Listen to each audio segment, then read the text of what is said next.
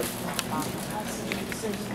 位来宾早安，感谢大家莅临我们参加我们的社会风险的永续渔业的凝聚友善海洋环境的力量，莅临我们今天的六口管理站，讨论我们养殖渔业的议题。那不好意思，因为我们今天那个交通时间有比较耽搁，那为了就是让各位来宾可以多分享一点，我们这边是不是呃我们会省略一些？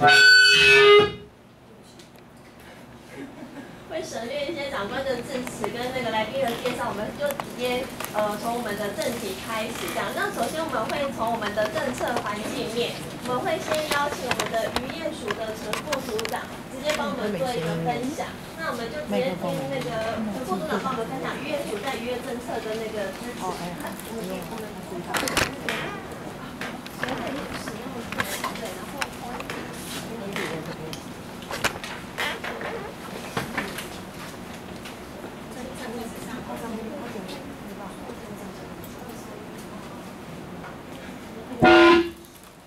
可能是用手持的，有什么可以手持回收对，我们 pass 麦克风。好。那如果需要麦克风，就去桌上有个牌叫 Q。好。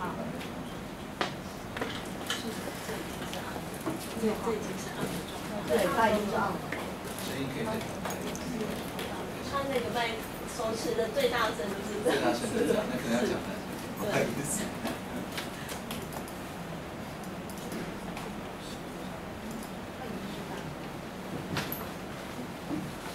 好，呃，今天呃，政委还有我们呃，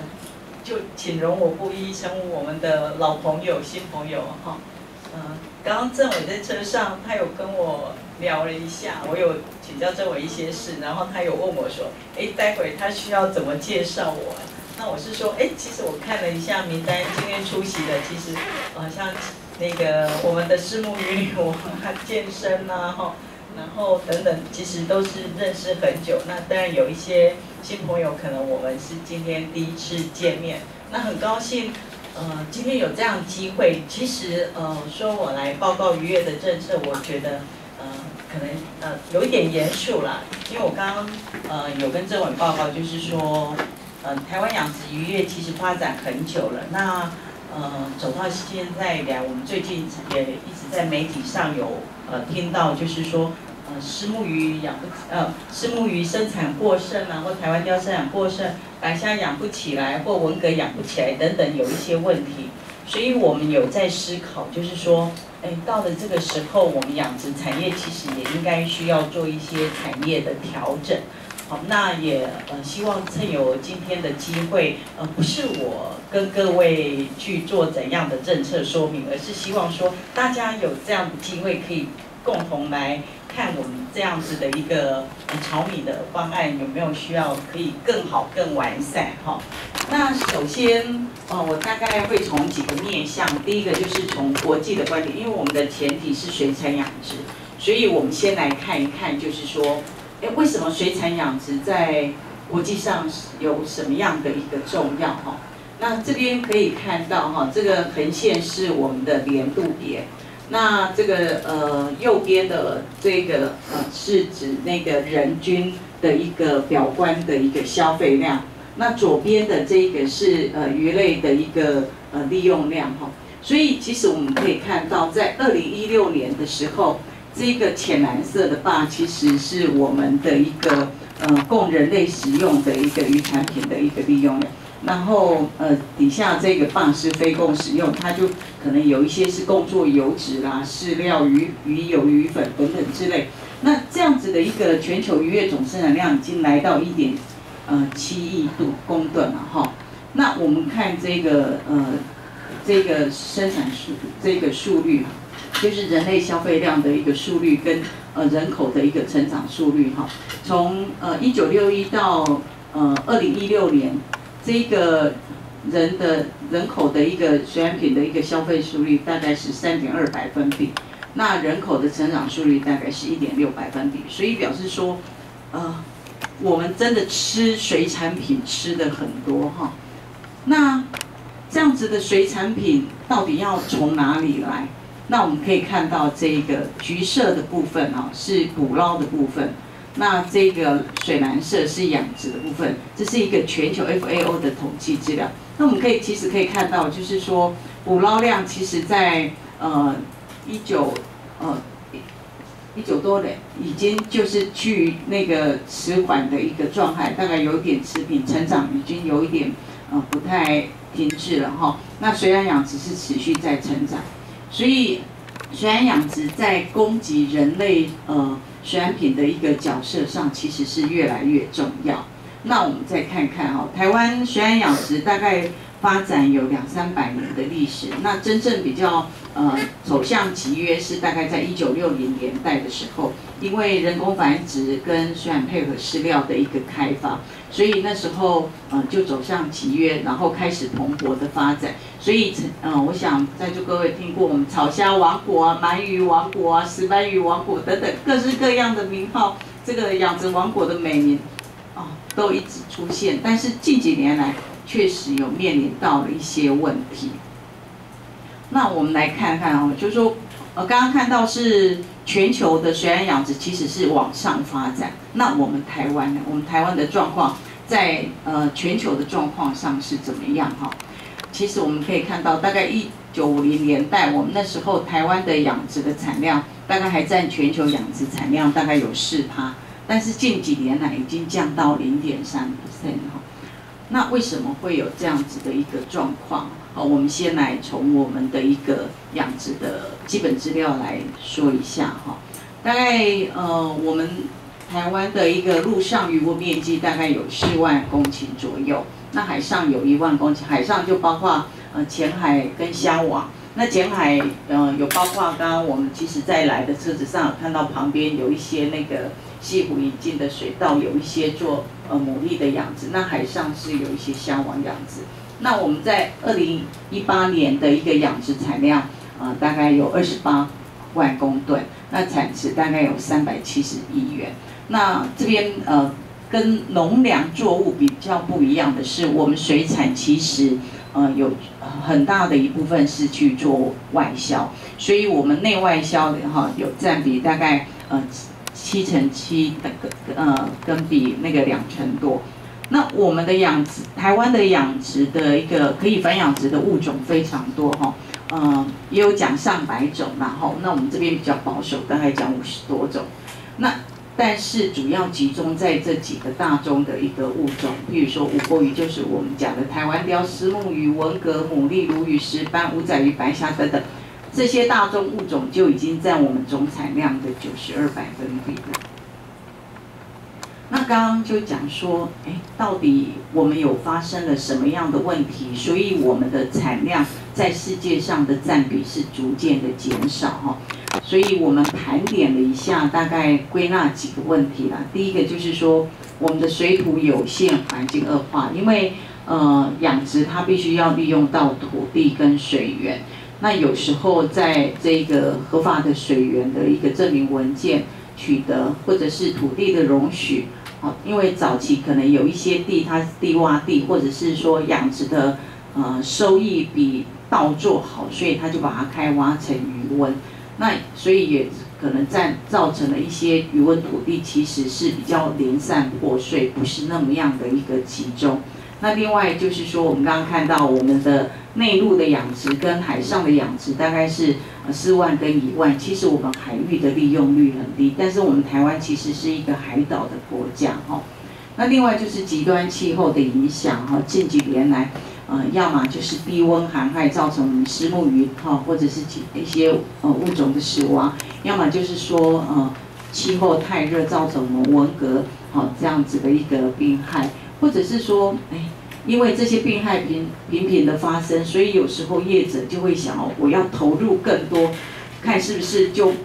再让它的存活率会好一点。所以养殖密度也很高。那有时候你养殖密度高，我们又是一个亚热带国家，可能就会引起了一些呃疾病，所以会有一些用药的风险。那当然它的一个存活率啦，或者是这些种苗的体质。都不是那么样的足够。那另外就是说，我们呃，因为虽然动物用药的辅导，它必须是兽医师，好，所以我们的一个防治辅导的人力，啊，在这方面其实也是有限。那另外就是我们产业结构，目前我们的一个人口啊，大概如果呃在实际上看到的，我们今天在座几位都是很年轻的哈，这个都是我们的心血。那其实绝大多数的一个从从余的人口都已经老化，那这几年也反映会有面临到一些缺工的问题。那另外就是说，呃，投入的一个技术或者是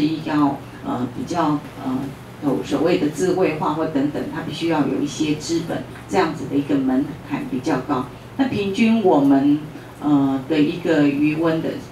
生产哈，那个规模都是偏小，不像国外它是一个比较呃公司或者是企业形态的一个，所以有一些我们呃业者的一个观念，我们也希望能够呃大家能够与时俱进哈。那刚刚提到的，因为我们外销的比例也不占小，尤其是像台湾雕，呃，过往它跟这这几年它的一个内外销比大概有四五成左右，所以如果外销的一个管道不顺畅，那这个养的鱼货卖不出去，势必就囤积在国内的市场。但是台湾因为又是浅盆的市场，所以就很容易呃会发生产销失衡。那另外我们呃主要的外销。呃，市场国哈，那目前看起来是属于比较集中的一个状态。那加上我们的一些经营，哈，因为你土地小，没有办法，嗯，能够去像国外这样子一个大规模土地的一个应用，所以有时候在成本上，呃的一个竞争，可能就是会有比较辛苦一点。那此外就是研发。呃，研发是带领了产业往前走的一个重要的动力，然后，所以这个呃部分可能就是需要啊再去做强化的一个动作。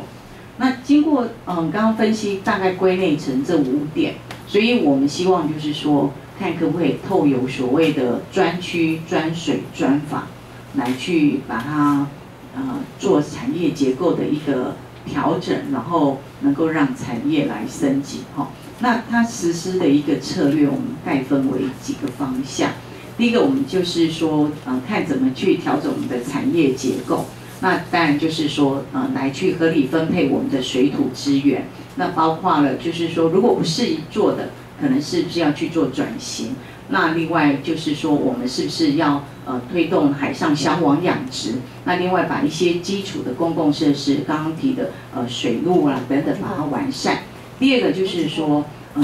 无论是呃人力的缺工，或是呃要把产业升级，其实自动化、智慧化的一个设备的提升是很重要的哈。所以我们会呃有去推动这样子的一个设施。那这几年也开始陆陆续续有去进行相关的示范场啊，结合绿能的示范场或推动 AI 哦。那另外我们也推动了养殖保险或疾病的诊疗啊，希望能够。来应应这样极端气候以及有前瞻的一个发展。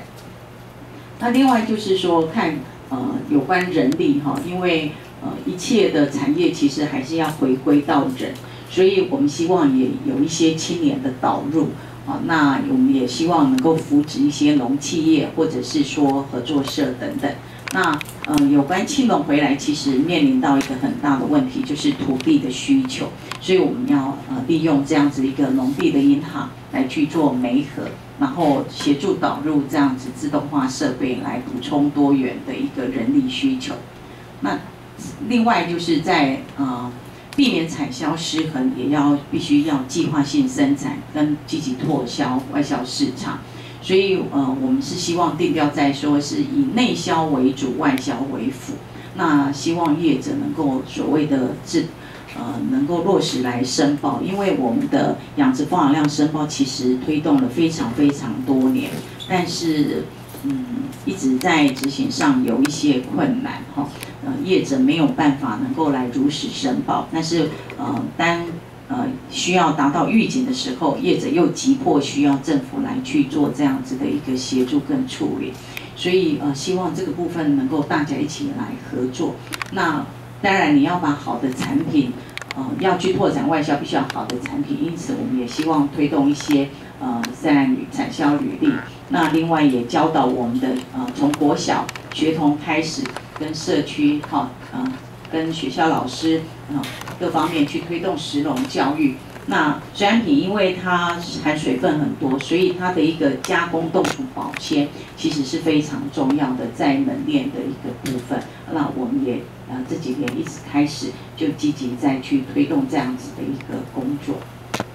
那最后嗯刚回实际从事业者，还有就是我们的产业团体的这样子的一一方面的人，这个。呃，完善哈也是很重要的，所以呃，我们可能需要在辅导的人力、科研的人力啊，必须要去增强。那另外，我们也希望在我们的渔业法里面，呃，无论是从订定专章，或者是呃订定专法，在养殖方面能够来去做强化。那希望借有这样子的一个产业规划，哦，从育种开始，一直到繁养殖，到加工，到教啊，到销售。能够这样子的一个产业链啊，能够再去做精进。那希望呃最后能够提供大家一个呃养殖永续跟绿色养殖的这样子的一个愿景啊，让我们的产业啊永续的经营发展。那以上的一个报告，谢谢。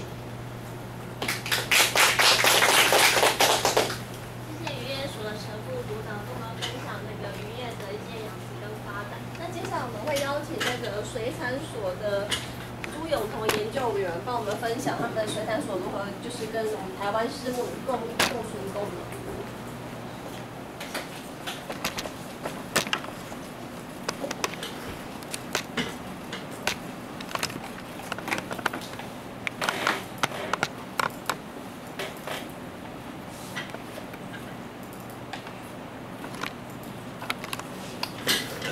政委。各位来宾，呃，大家早安好，呃，我是水产试验所海水环养殖研究中心，呃，研究员朱永彤。那我们上班的地方就是在前面十三号水路的对面，所以说，呃，今天很很欢迎，哎，各位到七股来好。那接下来我来报告，呃，水产试验所这几年在技术面他所做的一个研发的一个努力哈。那那个，呃。台南市它是一个主要的一个水产养殖的一个重要的县市哈。那根据一百零七年度渔业年报的统计，它的陆上养殖渔温的面积有呃一万三千六百多公顷，然后我们整个台湾大概有四万多公公顷，所以台南市它所占的呃养殖面积大概占全省的第一位，所以台南市是一个主要的一个。呃发展水产养殖的一个主要一个县市，然后它的产量也达到八十二，诶八万多公吨，然后它的产值也是诶超过了八十亿的一个产值。啊，以目前台南市的主要的一些物种来讲的话，大概主要有丝目鱼、无波鱼、石斑鱼、文蛤、牡蛎及白虾的一个养殖哈。那从这张图各位可以看到哈，它所占的。呃，以私募鱼来讲的话，它的养殖面积大概有四呃四千多公顷，然后它的产量大概有呃产量有两万多公吨，两万二点七万公吨，然后它的产值大概有二十三二十三亿元。然后以乌龟来讲的话，乌乌龟乌龟来讲的话，在台南地区大概都是属于淡水养殖的为主化，它的面积大概有。哦，一一千两百多公顷，对不起，不是很清楚哈。然后它的产量大概也有点两万多公吨，然后产值十十二亿。然后以石斑鱼来讲的话，它的呃养殖面积大概有七百多公顷。那实际上在台南市的主要石斑鱼养殖，大概都以总的生产为主。然后它，但是它的它的产值，却创造了大概呃七亿多的一个产值哈。那接下来就是一个文革的部分哈。那早期的话，文革都是在彰化、彰玉地区。那因为彰诶中部地区它的呃因因为气候变变诶气候的问题以及疾病问题，所以整个养殖的重镇慢慢也难以诶到台南来。所以目前的文革的养养殖面积大概有三千多公顷，然后创造出来的它的产值有大概十五亿，所以文革也是目前台南市主要的一个那个水产物种。那另外还有两种就是诶牡蛎的部分，啊牡蛎部分大概一般都是属于内海养殖为主，那还有就是少许的一一些白虾养殖。那这这几个物种是目前台南市主要的一个养殖物种。那第一个物种就是是木鱼，然后这个部分我想，呃，等一下那个有些那个，等一下那个业者还会多多加的介绍，那我就不不再赘述哈。那为什么会点出这一条鱼？因为这一条鱼，我想刚才听郑伟说了，诶，昨天吃的蛮蛮丰盛。那实际上这一条鱼大概在台南这个地区大概有四百多年的养殖历史。那为什么会提到这个？那这些产品，我想几乎它从头到到包括鳞片到骨头都有，都都可以都可以利用，等等于说都没有它的呃废弃物。所以目前这一条鱼的整个加工，它发发展的非常的呃的完善哈。那我今天特别提到就是浅明式的一个养殖哈。那为什么会提到这个？像目前的话，大概私募养殖都是朝向深水式养殖为主。那我们为什么会提到这个？因为目前整个为了整个一个养殖业的一个永续的发展，所以我们朝向生态养殖来来来发展。那现在目前大概在台湾的一个节目式养殖，大概只剩也是说海水环境中还保有这个优良的一个一个养殖模式哈。那为什么会这样？因为很简单，它对环境相当的友善。啊，我我们不不另外再投饲料，然后。诶，相对的，它的它我们放养的密度是比较低的，所以它对于诶整个鱼体的健康度是比较佳的，而且我这个全程是不需要用药物的，所以它对整个诶食食品的一个健康安全好是有很大的一个保保障。另外还有一个特殊的一诶特殊特特点就是它对生物是非常友善的。那从这张图片可以看到，大概每年入冬之后。我知道我们的潜明是，呃，水位降低之后，这一些远方来的贵贵宾，就是黑面琵鹭，会到我们中心来。哦，这这这个是在以往我们所统计的资料，大概一年大概会有五十只到两百只到我们中心的潜明式鱼来做觅食的一个动作。所以，我我觉得这个产业对于整个环境啊，对于整个一个周遭的生物跟我们人体的健康是相当有帮助的。所以我在在这边，哎，把它特别点出来。那另外，在海水中心所过去所呃研究的方向，大概都以石斑为主哈。那过去，呃，我参与到石斑研究大概有二三十年了。那过去有的呃研发鱼种大概以点带石斑、哦龙胆石斑、金钱斑，甚至呃龙呃杂交的龙骨斑，哦，这是我们过去所一个研发物种。那因应气候变迁以及呃市场因素，所以我们也开发了其他一种其他种石斑。好，那目前来讲的话，大概有。呃，所谓的褐石斑就是俗称油斑。那这一条石斑它是白色体系，它是属于比较偏温带性的鱼种，它可以耐比较比较低温的一个寒流呢。而且在几年前的一个霸王级寒流，大概经过那次寒流洗礼之后，我们证实大概有几个物种可以耐耐耐受到那么低的一个低温。那其中这个褐石斑就是其中一种。那接下来我们就进行了这一些。呃，物种的一些改良的工作哈。那另外还有一个呃比较经济的物种就是东星斑。那过去在东星斑的话，都都会认为说是澎湖地区的物物种，而且它必须是养殖在箱笼里面。但是这这几年来，经过我们海水中心的努力，大概我们从苗哦，然后育呃育育成呃育苗之后，在中间育成的，甚至到养成，甚至到大概四五年之后，我们已经把它养成种鱼。已经完达到陆上渔温的一个完全养殖了，所以未来这一条鱼，我想，呃，因为它的售价还相当的高，大概每公斤还有一千多块啦。那未来可能在陆国内陆陆上渔温，哎陆陆上设施养殖的话，它是呃很受那个期呃期待一个物种。那这个就是我们进行的一个呃品种的改良，好，那这个是呃有关它。哎，我刚才提过，它属于偏温带性的哈。然后这一条，呃，是龙胆，它属于热带性的物种。那，我刚刚提过了，油斑是它可以耐低温，但是龙胆它长得快，但是它不耐低温，所以我们进行，而且它的成熟，哦，它它因因为一个是温带系的物种，一个热带系的物种，所以它在台湾不可能同时间成熟。然后我们就运用我们生物科技的方式，让它在同一个季节里面同时同时间可以成熟产卵。啊，这个是我们一个突破，已经突破了一个障碍。这个就是我们育育出来的它它的幼苗。啊，另外还有一个金钱斑，这个我们也也都已经成功的开发出来了。那目前我们在做养殖的一个一个评估当中。那除了十方物种之外，大概很多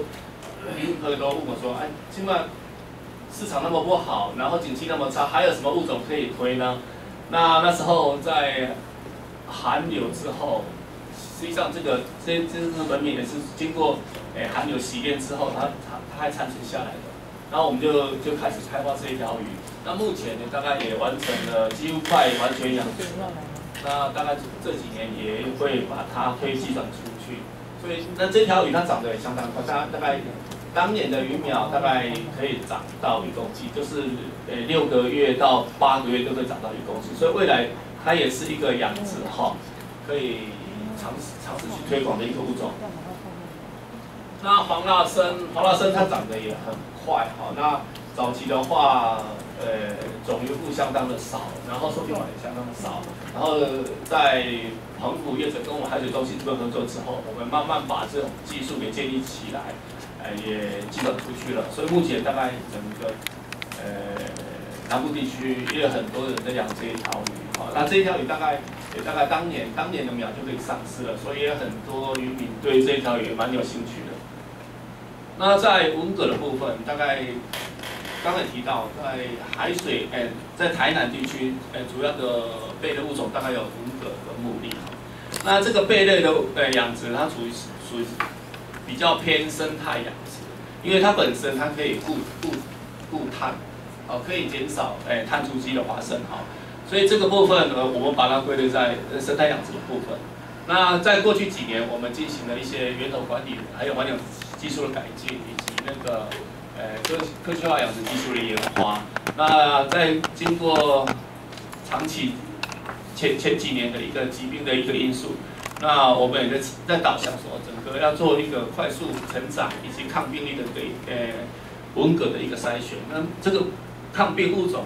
的这个品系是目是目前我们积极在开发的一个品项。那文革的部分，呃，再来就是牡蛎的部分。那牡蛎的部分在气候变迁的一个一个一个影响之下，它的护苗会。可是气候影响到的天然护苗，所以在这种情况之下，我们呃海水中心就是台西分所部分也开始着手这种努力的一个人工繁殖。所以，我们现在牧野牧呃的一个护苗方式是借着一个人工的一个繁殖，然后用人工去护苗，不需要再把这些这些机子直接拿到海里面进去护苗。这是我们目前所呃在应用气候变迁的。呃呃呃，研发出来的一些技术。那为了整合这些这养殖，我们就我们为了一个有序的发展哈，然后我们把它整合一个诶多营养间的一个养殖系统哈。然后这个部分就是把诶应用它不同生物它互利共生的一一个特性，然后我我们把它整合起起来，就譬如说我们会把。一些像鱼、虾、贝，好，它不同的一个食性，然后它生活的不同空间，我们把它整合在一块，然后去去弄一个一个一这呃研发这个养殖系统下来。那这个有有一个好处说，它对于那个整个水水资源的利用一个好处，它能够达到呃净水及节水的一个效果。然后它对于整个呃环境污染，就是它的它的。呃，产耳跟粪便的话，粪便量的话，它可以借着这些藻类把它代谢掉，所以这个这种养殖方式是它的，也是一个相当一，诶一一个，等于说是一个绿绿色的一个养殖的一个产业。那在创新部分，那创新的部分我大概会提的就是番禺的一个种苗生产部分。那这个部分大概，呃，过去石斑鱼最最会遭遇到的就是疾病的问题。那疾病问题大概是有垂直感染，还有水平感染。那而且它主要的都是病毒性的物呃因素。所以在整个一个策略部分，我们会从种鱼开始，我们筛选它没有没有没有病毒的一个呃种源，然后再接下来我们进行种鱼免疫，然后再来就是就是我们会培养一些比较用一些它本身有抗一些病原菌的一些呃益生菌来进行它的一个饵料生物的培养，那接下来在我们鱼苗期的话，我们用疫疫疫苗的方式去进行它的一个培养。那这个是整个我们一个产业的一个策略方式。那这个是我们在种鱼配过程当中如何去做做一个筛选哈，这是我们的一个选育流程。那这个是在我我们的一个种鱼免疫部分的一个实验哈。那这个这个部分就在我们这张图可以看出来，我们经过种鱼免疫之后，它所产生出来的受精卵，它证实是没有病毒感染的。但是在对照组的话，哦，这边还可以看到说，它它它的受精卵还是有病毒的存在，所以证明说这种种免疫的话，对这个斯巴利种的部分，它确实是有一个达到一个阻断病毒垂直感染的一个效果。那另外在饵料部分哈，大概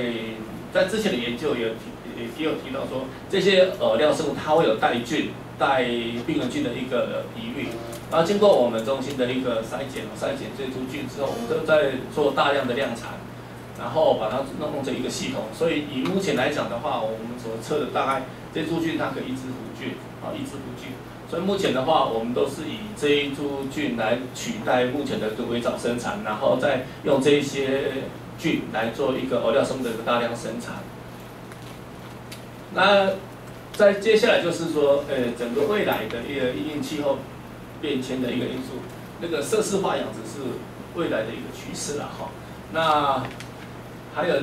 因应那个疾病的一个因素，所以目前的话，我们是用呃隔离式的一个屋棚的呃设施方式来进行失败的一个育种跟跟育育苗。那这这几年经过这几年研究，大概我们的成果大概会比外界好到大概趴到十趴左右。那以我们目前来讲的话，我们的育成率最高都可以达到呃三十多成。所以用这种方式来进行它的育苗。呃，是相当有未来性的哈。那我今天的报告就到此，谢谢各位。非常感谢渔业署跟海水中心跟我们分享他们在养殖渔业的政策面还有技术面的努力。那接下来的话，我们会邀请我们社会创新的传承与转型面的卢静颖、主生馆的卢静颖跟我们分享三楼产业的危机跟转机。再试试看那个麦克风吧。我我可以来点轻松的，先播放一段影片好了。那个，麻烦一下那个工厂那段影片。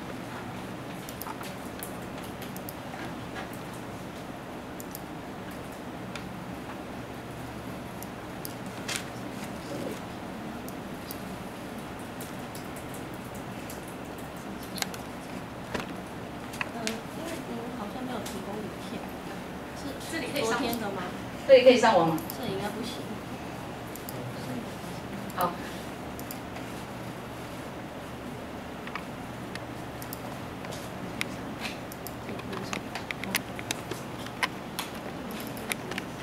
那不能上网，我就自己演自己唱好了，好了。呃，这个感谢大家，那郑文早安，我们所有的同业还有我们长官，大家好啊。那呃，我这个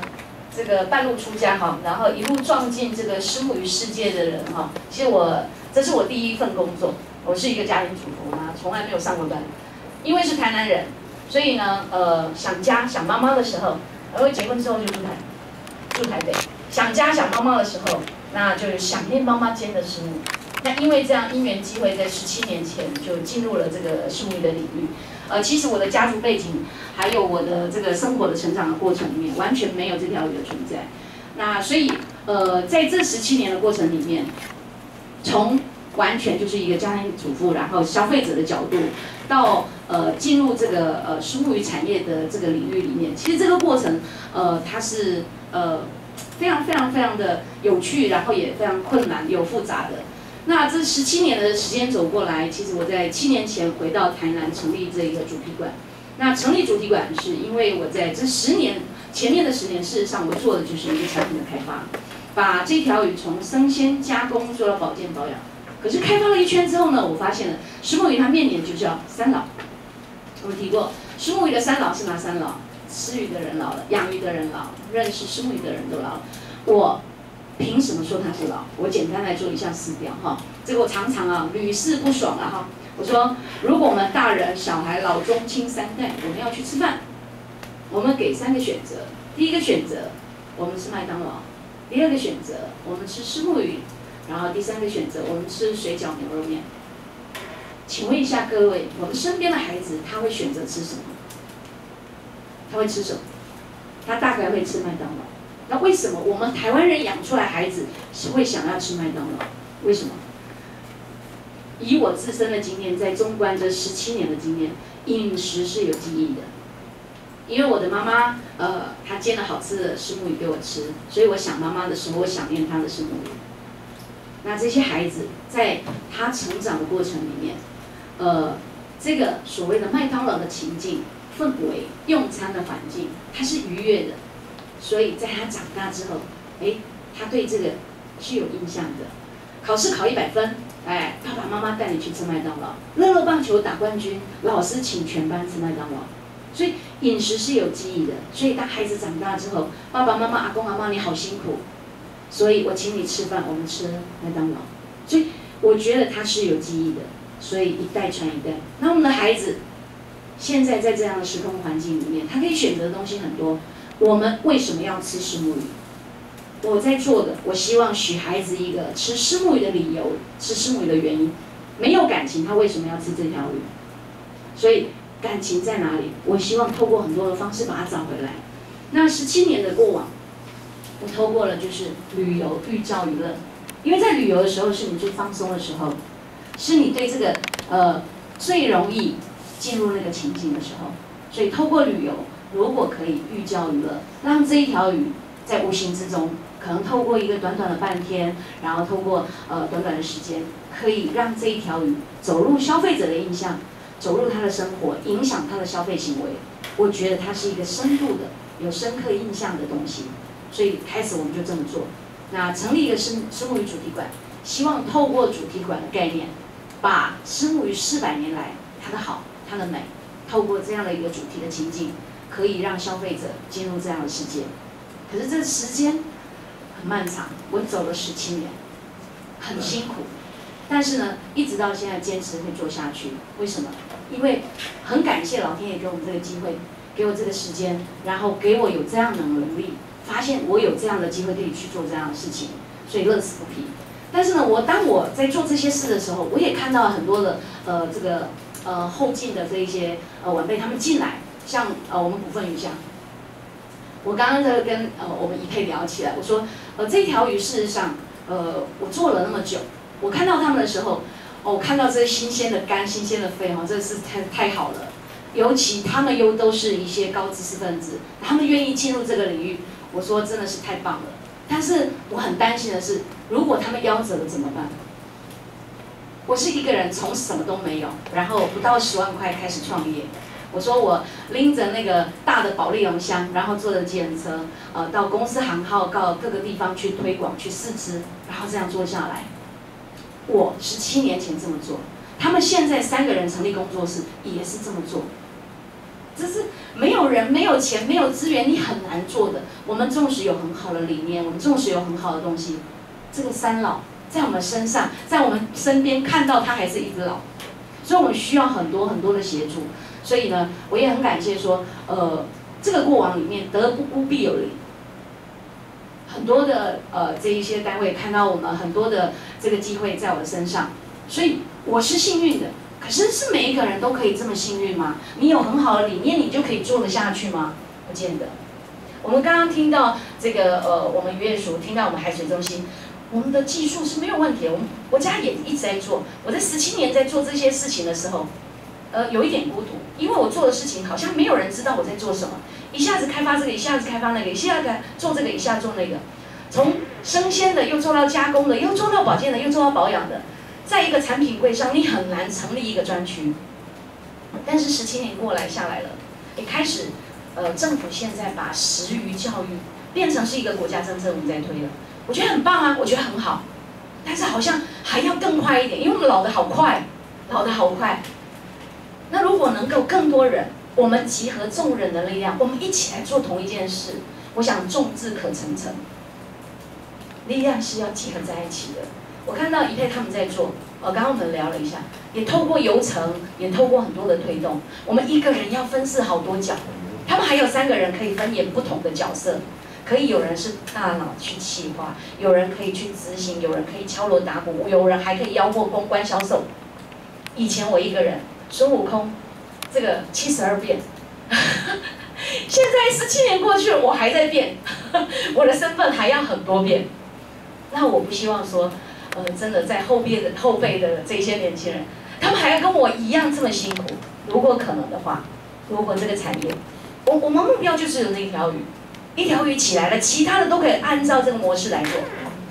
呃，这个技术绝对不是问题，生产也不是问题。但是如果能走，呃，从这个销售端、行销端，我们让它变成是一个风气。如果可能的话。这个鱼上来了，其他的鱼我觉得都可以上来。海洋资源越来越匮乏了，如果我们不从海洋去呃拿我们要的东西，那我们就应该从养殖去加强。如果我们从养殖去加强，那这一些技术早就已经到位了，生产我们就在等了。如果吃的人能够变成是年轻人，那我想养的人变成年轻，他绝对没有问题。所以它是一个产业结构绑在一起的东西。政府教育都已经在开始带头做了，养殖技术早就已经熟成了。下面的产业，我觉得应该是大家一起来，共同努力，有共同的目标，就是把这些我们台湾最好本土我们养殖出来的东西，不是呃各家放火，我觉得绝对不是这样子，因为我们做的工都是一样的，我们后备的人力也都是一样的，我们看到的可能性也都是一样的。我现在在做的，我想。后面在做的都是一样的，我走过的，他们也都正要走进来，所以我知道各中的辛苦，所以我常常会跟他们分享，我我们如何可以一起，我们可以把子弹集中，因为我们都很小，我不到十万块创业，他们三个人从学生时代开始进入这个七股，然后开始创业，我们如果还要这样子，你们还会有十七年吗？然后十七年换个位置之后，还是一样在苦哈哈吗？我觉得不应该是这样，因为现在是一个智慧的时代了，现在是一个共享的时代了。如果可能，因为我们产业的共享，然后结合政府的力量，那这一条鱼，这个产业，这个养殖业，在我们台湾，它可以成为是一个国际的亮点。因为我们目标是一致的，我们希望石目鱼可以鱼跃龙门，我们希望台湾渔业可以鱼跃国际。这我们目标是一致的，但是其实最困难是人。我们刚刚讲到了，缺人缺工，然后人如果不能和，人字两撇很简单，可是如果人字不能和，一切都是枉然。不管你再多久，它都是相同的。呃，其实有一首歌《阿巴的萨巴皮》，因为你今天没有网络，如果能够听听看的话，我觉得那首歌呃非常能够代表台湾的渔业。那因为今天时间很有限，那我不应该占用太多的时间。还有吗？还有吗？还有时间吗？还有三分钟。好，OK。好，那我们简单就赶快跑一下我们的那个、那个、那个简报好了。这条台湾第一鱼哈，从十七世纪到现在就有了。那它到底是一个呃三老的宿命，还是一个绝佳的一个呃鱼精，是一个机会？在我看来，它绝对是一个鱼精，所以我们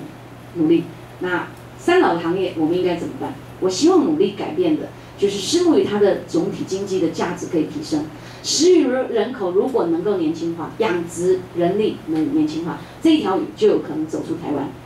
那为什么要它？我想大家都知道。那呃做了那么久，如果我人生不是因为生鱼创业，我想家庭主妇不可能有这么丰富的人生。所以他是我的贵人，所以终其一生，我愿意为我的贵人打拼，邀请各位成为他的贵人。那这首歌就是我刚刚讲的阿巴的萨拉皮，很有意境的。呃，有时间大家可以听听看。那如果可能。为他打造一个舞台，那这条鱼它有非常非常多的好的元素，不管是历史、观光、生计、环保、生态，一直到美食，这么多丰富的东西，如何可以结在一起？我永远只有这四句话：这个产业让人惊艳，这个过程、这个历程让人感动。如果你愿意的话，愿意掏起你的荷包，呃，用你的力量来支持它，不断的分享它，那这条鱼它将呃有不同的命运。那素材它是在地化的，但是我们的行销是要国际化。多元的石目鱼它有可能呃要上龙门。那透过呃非常多的方式，将这一条鱼全鱼循环，让它的经济总体在线。呃，通过很多的策略、很多的方法，无非就是希望大家能够多多认识它。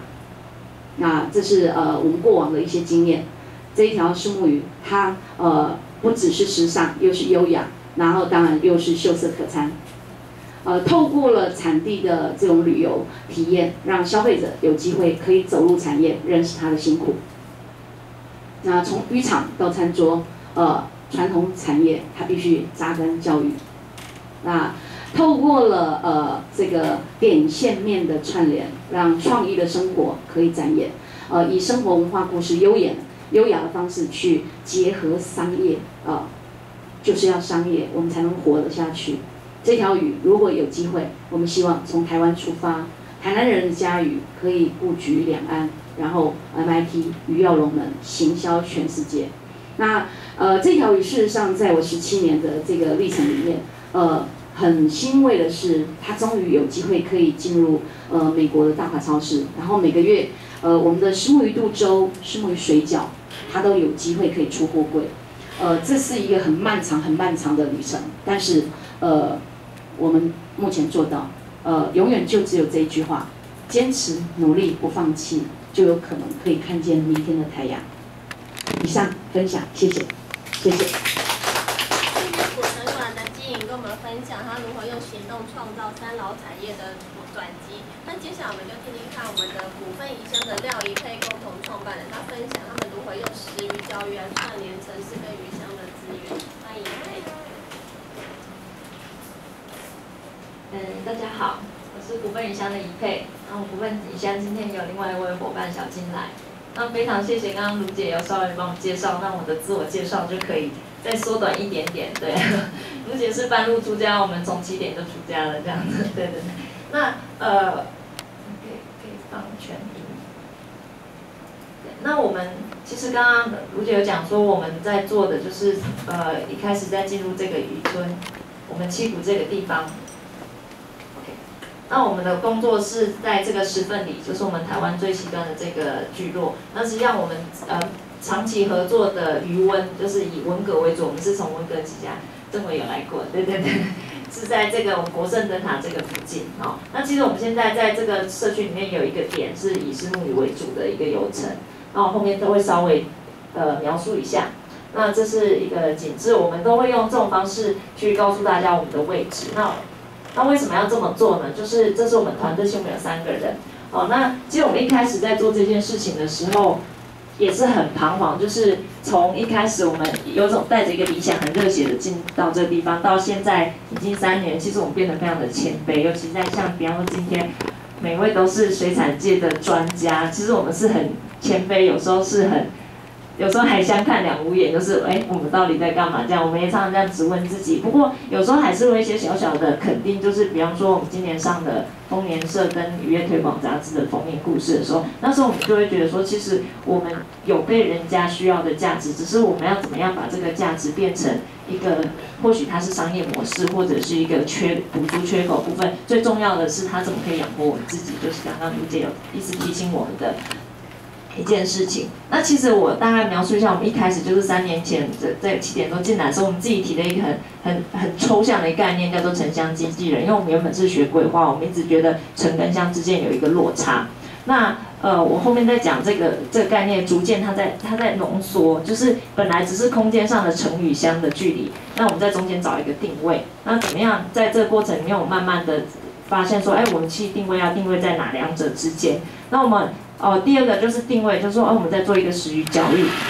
那私域教育是什么东西呢？哦，这大概自己跳过。所以我们一开始只是想说，我们怎么样把一些城乡差距之间的人跟资源串联在一起。所以我们一开始其实就是直接跟呃在地的小学跟渔民在合作。那在地的小学，就是因为那时候他们呃校长有提到说，哎，在在地的小学的小朋友家里都是做养殖渔业，可是小朋友对这个渔业是不认识的。那你可以想见，他长大可能就不会对这个行业没有兴趣，他就不会回乡去接这个。所以我们那时候就是跟着呃小学去合作，说怎么去带着这群小朋友认识自己家乡的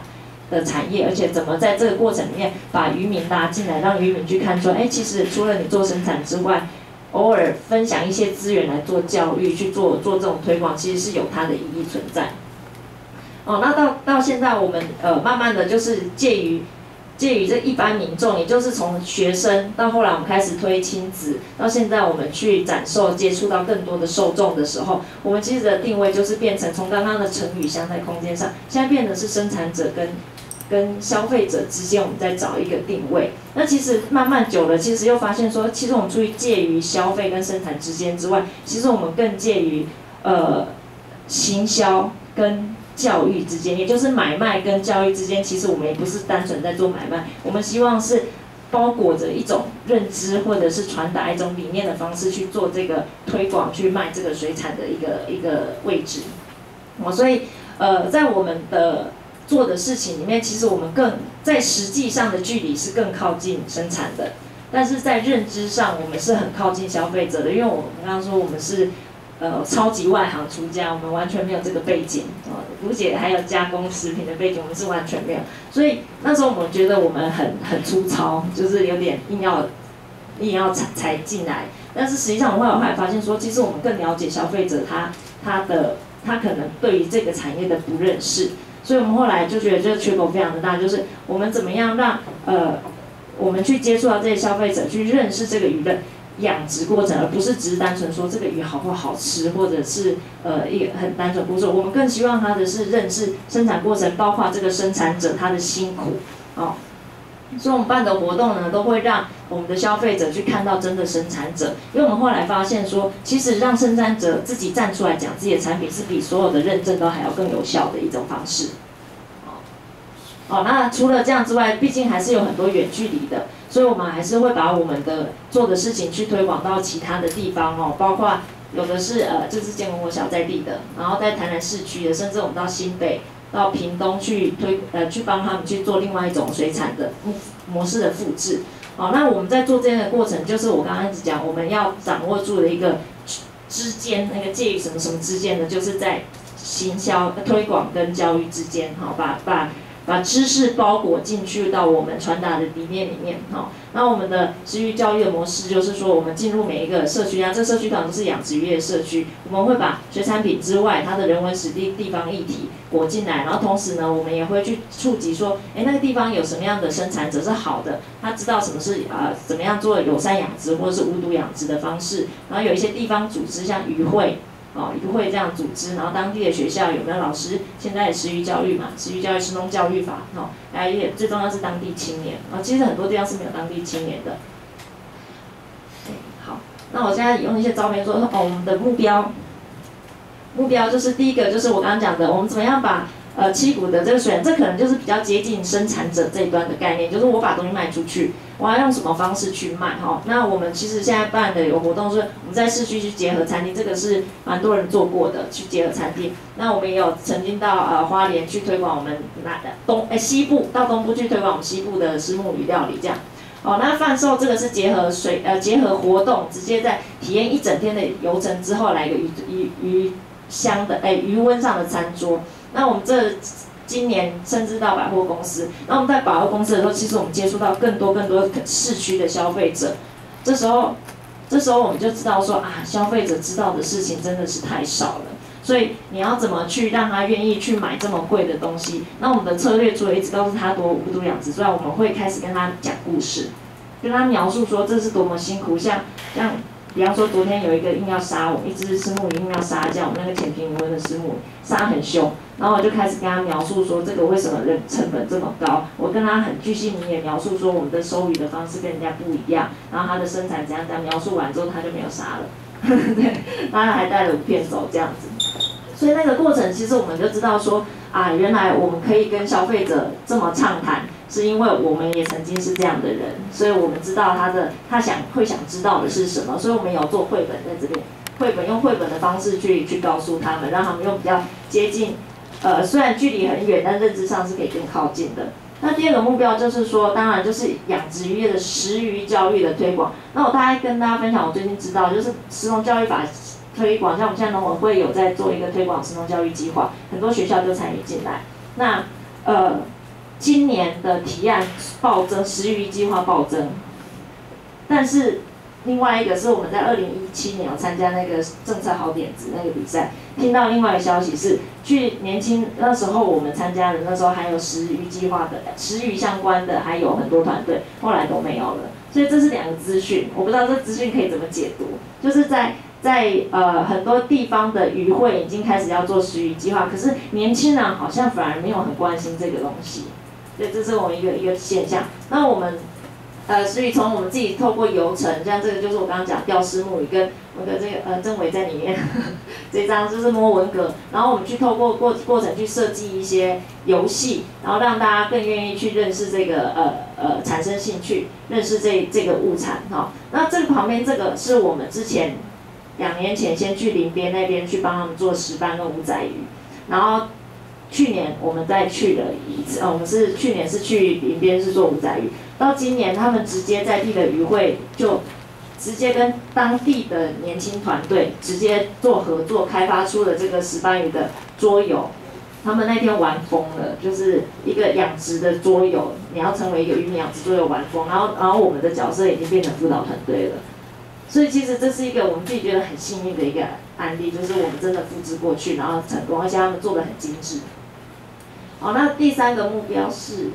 哎，第三个目标就是今年我们开始发现说，当我们这么做的时候，其实在地很多养殖青年，哎，他们也开始发现从我们身上看见说，原来我们还可以做很多事情。哦，比方说，他这个现在已经变成我们的那个教学了。来，我们的活动里面要教大家怎么杀鱼，现在就是由他来，这是养呃在独家那边养白虾的。那这个他是他自己有一个工厂，他现在就是在他是做菜桃会的。他怎么样去在菜老会结合海鲜，然后同时做教育？他们自己都在想说，我要怎么把这些融进去？好，那这个是从大概第三年才开始发酵的一个作用。所以我大概做一个总结哈，就是我们除了一开始开始这个深度，就是我们因为进驻在地方，然后怎么样去认识这个地方，加强这个地方的知识性啊，或者是观光到推广，我刚刚讲到领边这样去推广，帮我们。模式复制进去，然后到后来我们所谓的厚度，就是说，因为我们在这边，我们让这边的渔民哦生产者去做他的他的衍生，也就回过头来就说，我们发现我们本来就是比较靠近消费者端，其实我们不要硬把自己逼成一个生产者，其实可以直接跟生产者合作，让生产者去增加他的附加价值或跟我们合作，那我们就是靠近消费者这一端这样，那这可能在这中间有一个有一个怎么样的一个位置？是可以有商业模式啊，然后也可以，也可以呃达到它的价值价值的作用。那或许今天我们也可以讨论看看这个议题。好，那以上就是我们的简报，谢谢。谢谢股份鱼香的一佩跟我们分享他们如何如何和地方协力合作发展我们食鱼教育的服务模式。那接下来我们会邀请我们的台湾好鱼跟我们分享他们如何用生态养殖，然后兼顾我们的环境。欢迎陈负责人。丽丽，丽丽。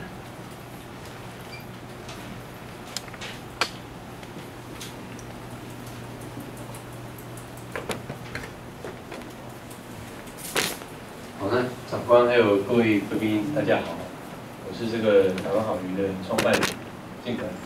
那现在这个养殖不只要兼顾环境永续哦，还要面对极端气候哦。所以未来是越来越艰巨。那为什么我们台湾好鱼会取这个名？那可以看到我们的鱼有三点水哦，所以我们主要是运用那个卖鱼的商业模式，要来解决所谓水资源的问题。哦，水资源的问题，特别在极端模式这个气候下，呃，更显严峻。那水资源有什么问题呢？一般来说，水资源分三大类问题，第一个叫做淹水，哦，淹水；第二个缺水哦。第三个叫做水污染，哦，这三个问题条件有没有？基本上都有，而且在全球还是有排名。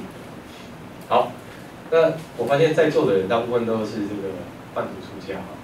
哦，我也是半途出家，不好意思，我以前跟鱼一点关系都没有，我是这个资讯业哈，写软体搞了十几年，后来想不开，跑来创业哈，大概知道一下就好了。那因为我们前面提的这个商业模式，那就是用卖鱼的这个问题如何解决水资源问题，所以陆续在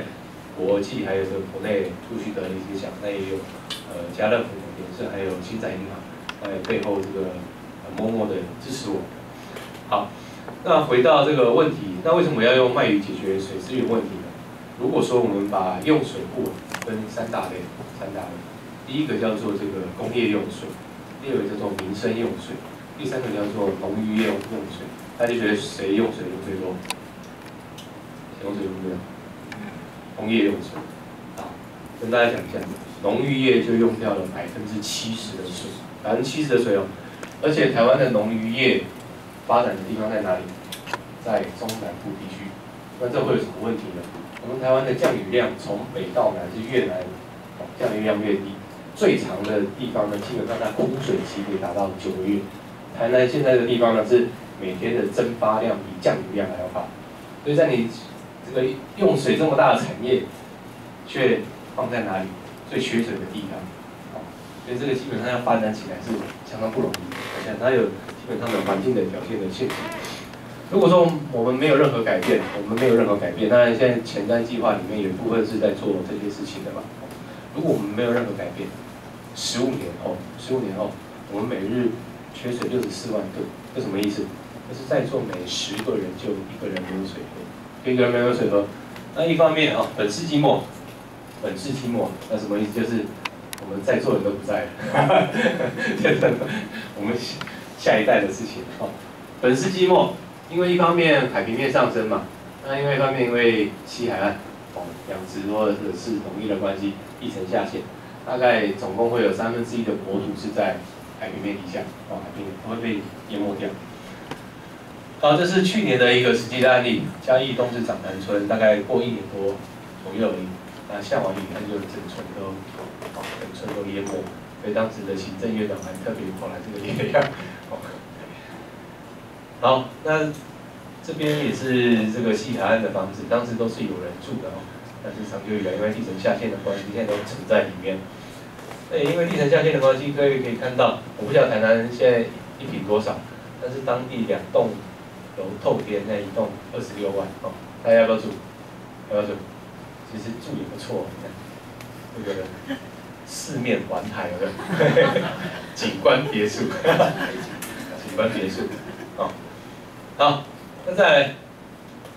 这边可以看一下我们台湾地层下陷的状况，各位是坐高铁下来的嘛？哦，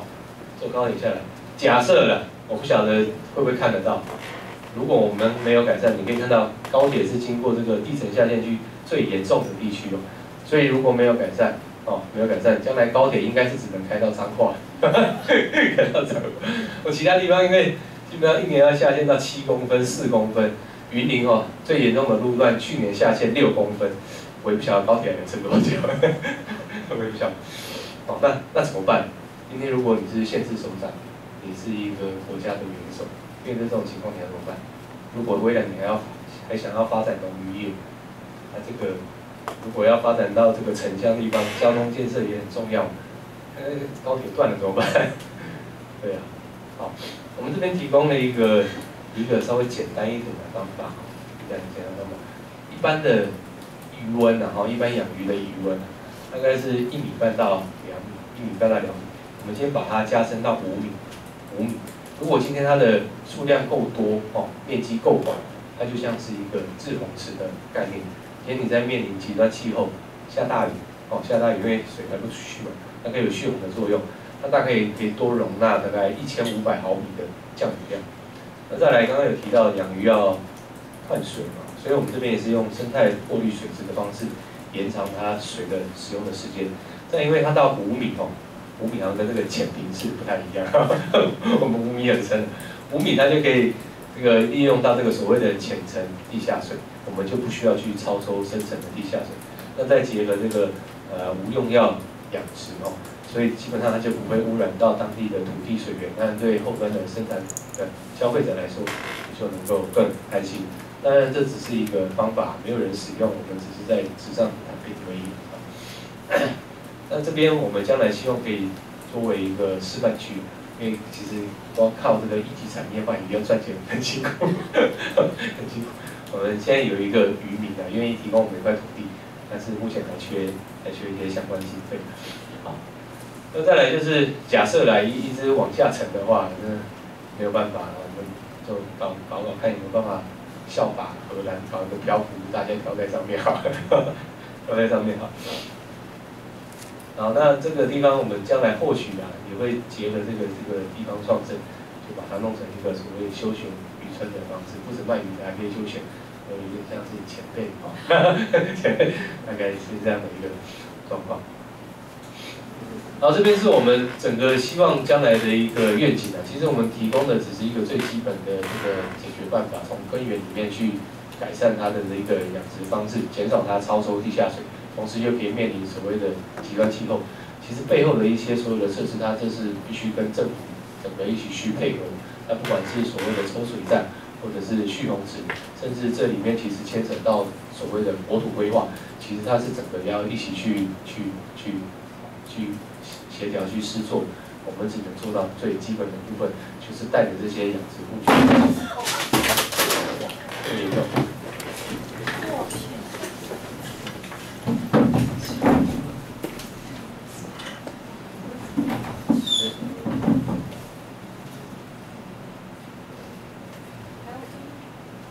还还可以，我们等速度时可以补一下。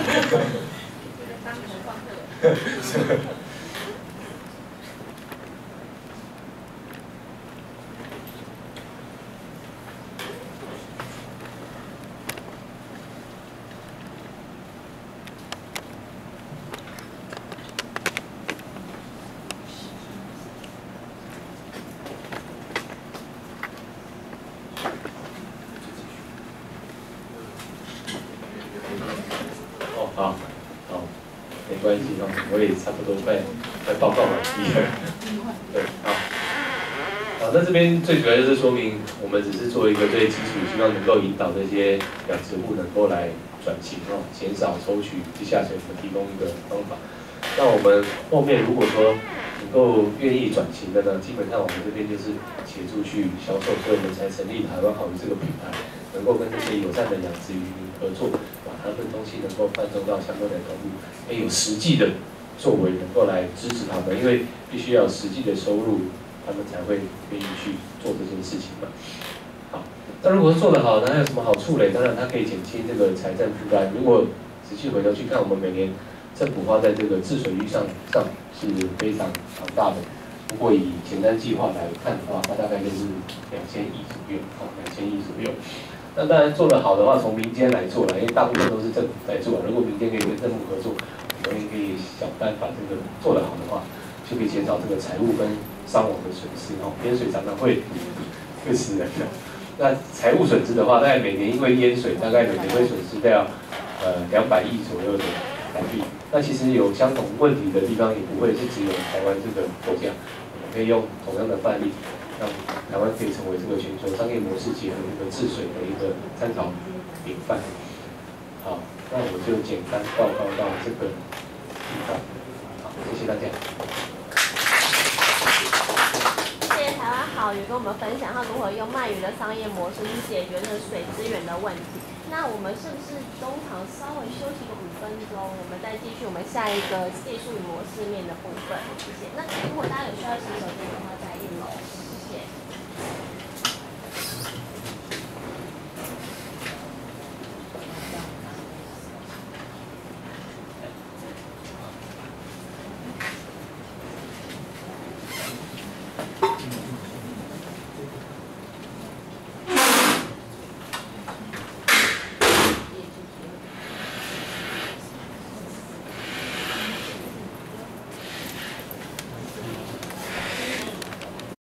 持续的研究，因为这是那是我们在之前我待在农改场的时候的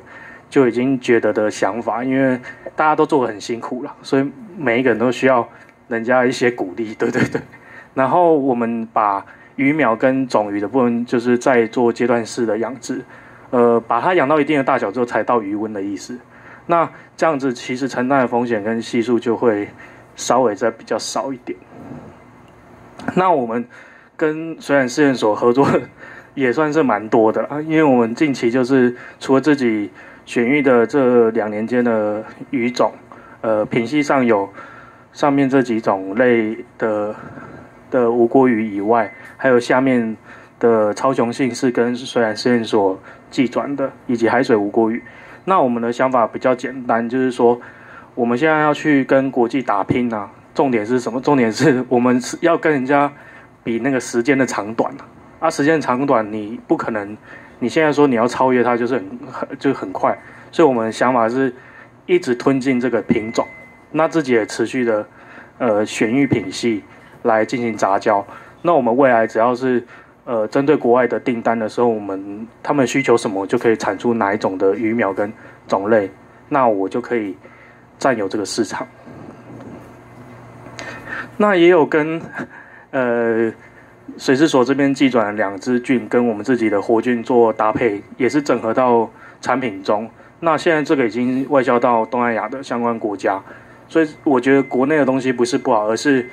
呃没有很多人去捧墨它，或者是说进行整合。刚刚其实很多前辈也提到说，最好不要什么事情都自己做了啊。当然我们也没有很想要都自己做了，我们只是想说遇到问题你就非得解决啊。啊，如果你是一间公司。什么事情都要自己解决的时候，你就开始要导入很多很多的元素在里面。那我们也有从事相关的设备，刚刚提到的部分，这个是鱼苗的分筛，就是为我们的选育长期适应的永续去开发的。那目前这个东西，呃，是针对鱼苗，但未来我们会希望朝向像挪威的系统化、标准化养殖。那因为我们其实国内现在大部分都是，呃比较小或者是比较广的那个养殖者，那我们希望把它变成集团式或者是公司化的管理方式。那你只要到后来收成可以有一些省工机具，包含从吸鱼收成到后面分筛，这些都可以让品质以及成本下降。所以我们现在方向都是往省工机具以及呃让它可以。让现在可能高龄化或者是投入的人变少的时候，可以做一些调整，而不是呃只有做一些监控。因为其实对我来讲，呃监控的部分其实大家很多监控设备公司都很行，而且嗯在大数据的传承上面，可能还是有一些问题在。因为就像我好了，我现在要给我的新新的一些同仁教导他说，哎那个东西怎么看，他们其实都。看不太 看不太懂啊，反而是说你找一个可能管理系所或者什么其他的系所，不要是水产养殖系所，然后直接来教他，他都照你一步一步的来讲，还比较快，学习方面也比较也比较获得了东西。所以现在其实不是很多人是水产养殖相关的来投入这个产业，反而是像我们这些就是不一样，但是有兴趣的人投入的居多了。那再是。也是跟呃公部门这边合作的，这个我觉得快哉世纪也是一个方向，因为其实大家一直讨论食安呃的问题，但是食安的部分大家其实都一直讨论后端啦，因为就是说他后面有用药之后再来考量说怎么样，或者是有没有要用药，那我为什么不在前面就跟他一直一直导入防疫的这个这个这个部分呢？因为其实防疫这件事情比后面要处理还容易许多了。呃，以农业来说的话，是是已经很擅长，但是以渔业来讲，我觉得不要说擅长，就是他不太用，所以就会变得很很麻烦。而且当他进入要到兽医体系的时候，根本就很难找得到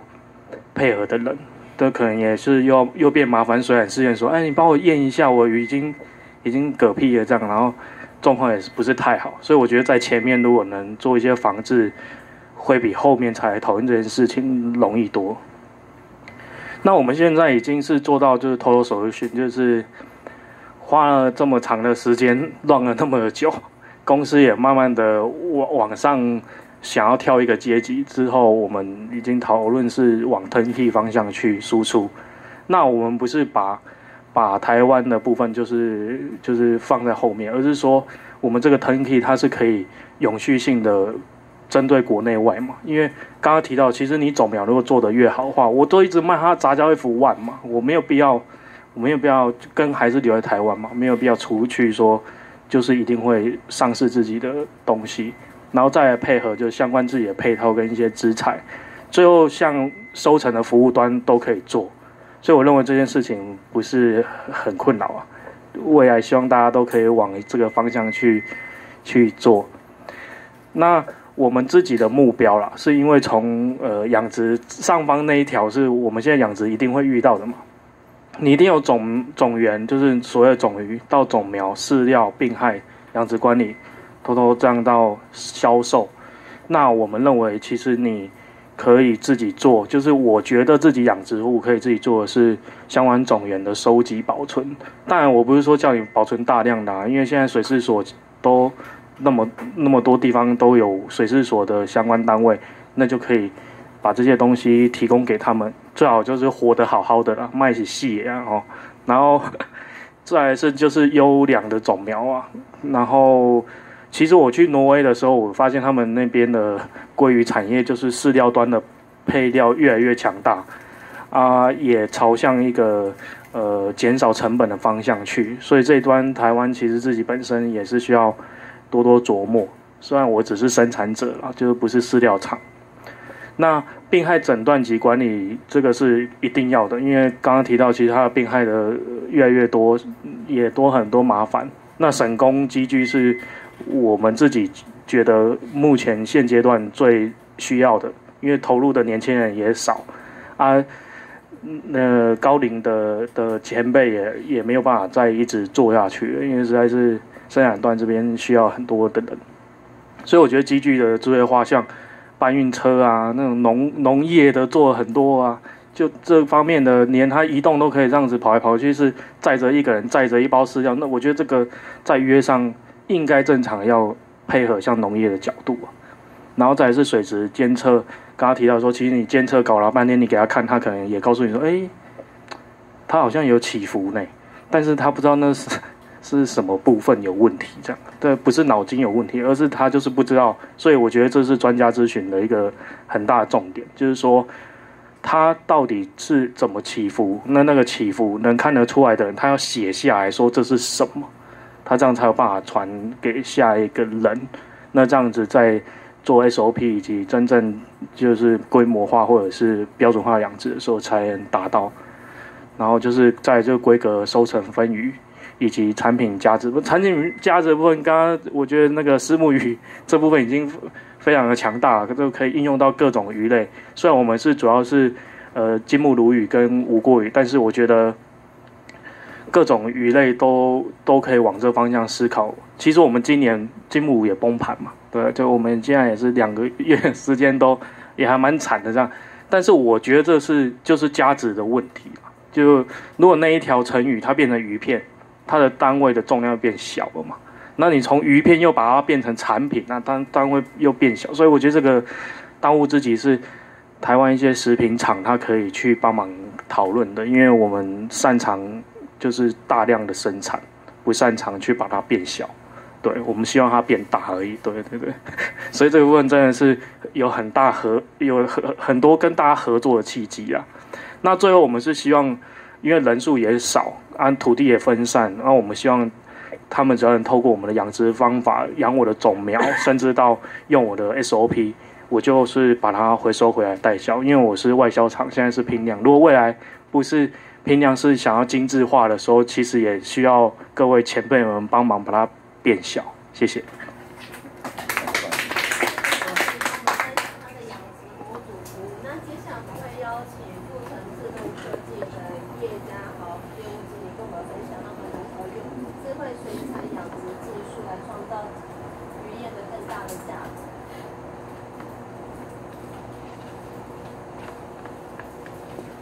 呃，政委。呃，各位先进，大家好。呃，其实我我跟各位也是一样哈。其实大家都说大家是半路出家，我也是半路出家，而且我才加入养殖养殖的这个圈圈不到一年，其实不到一年，但是我在这个这个圈圈里面，其实看到很多问题。那好在的是我们公司哈，我们公司老板很支持我，支持我在这个行业任意的作为。所谓任意的作为，就是说我想开发什么，他就支持；我想做什么，他就支持，因为他本身就是农家子弟。所以我们公司其实也成立的十十几年的时间，而且成立的时间点很妙，是在二零零八年的金融风暴的时候啊，到现在还没倒啊，所以我 我想以后要倒也也不是很能，也不是很容易的哈。那我们现在有那个有拿到这个创创柜的股票代码，那老板的经营理念一直都是一个智慧自动化的部分。那我们本身就是工业起家，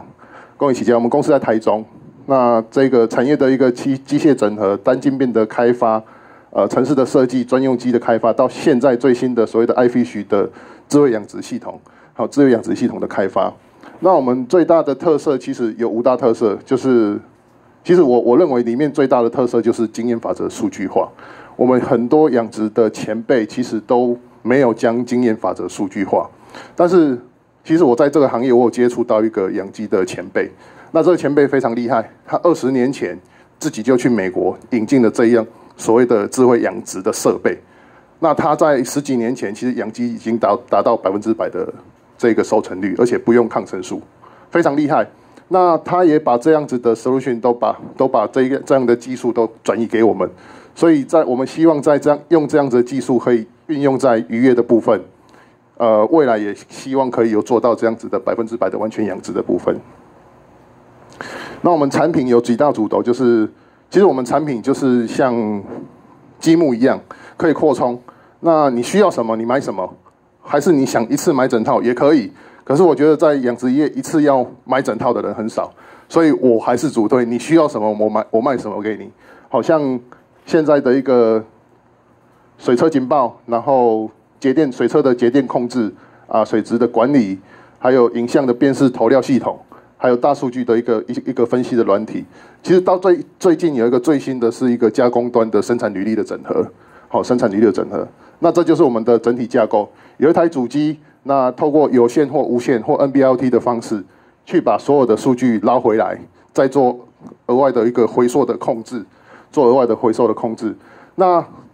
让我们的一个生产者，他可以在云端的部分、远端的部分。透过手机或是他的平板，可以去操控他现场，他也可以去了解他现场的一个整整体的数据跟数值。那如果有警报或是异常的时候，我们可以这设备会马上发来发打打电话通知我们的一个业者，所以让我们业者可以不用二十四小时整天都顾在鱼池，好，整天都顾在鱼池。好，那我们的水车警报系统，其实我们我们的设备应该是这样子说：你需要什么，我就是添购什么，像。今年大概九月多的那个时候，我们也有业者是因为欠项的问题，好导致 导致的欠收。那所以水水质监测有想要什么，想欠项，想要想要欠逆向的控制，想要想要电流的预警，这些我们都有。好，那再就是水车节电，水车节电这个比较特别，就是说你不用更换水车，那我利用我工业的一个控制器，我可以来把你的水车调速变慢。那我们有实际测过。一一马力的水车，呃，一天的用电量大概是在三十度。那我们把它降降了十赫兹的时候，它一天的用电量大概只有，呃，大概只有二十二十二度，减了大概快二十几、二十五帕、二十五帕。那也可以使用这些感测器来做一些回溯控制。你白天不开，自动关掉；或是你白天你把它弄成慢速自动造流，这个我们都可以做到。这个我们都可以做到。好啊，那这个就是水质系统系统监监测。水质的部分，其实我们现在也不那么的主推，因为其实我们发现问题不是在水质，问题是在土质，所以我们有一些底泥的一个监控监控的一个感测器，监控它的这些底泥的 ORP 或是 pH 值的一个质变。那微型气象站一样，其实在风向、风速、大气压力跟跟这一个雨量它有变化的时候，也是对我们渔渔业有很大的一个。一个威胁，所以我们也透过微型气象站把这一些数据收集起来，让我们的业者可以去做一些回溯的一个一个一个一个追踪。好啊，这个就是水手机的一个监视画面。我们希望我们的业者可以跟数据有多多连接。因为像这一个是用在这个画面，它为什么会这样跑？这个画面是用在环境处理、污水处理，他们每天所做的监测，还有数据的变化量，就是会变成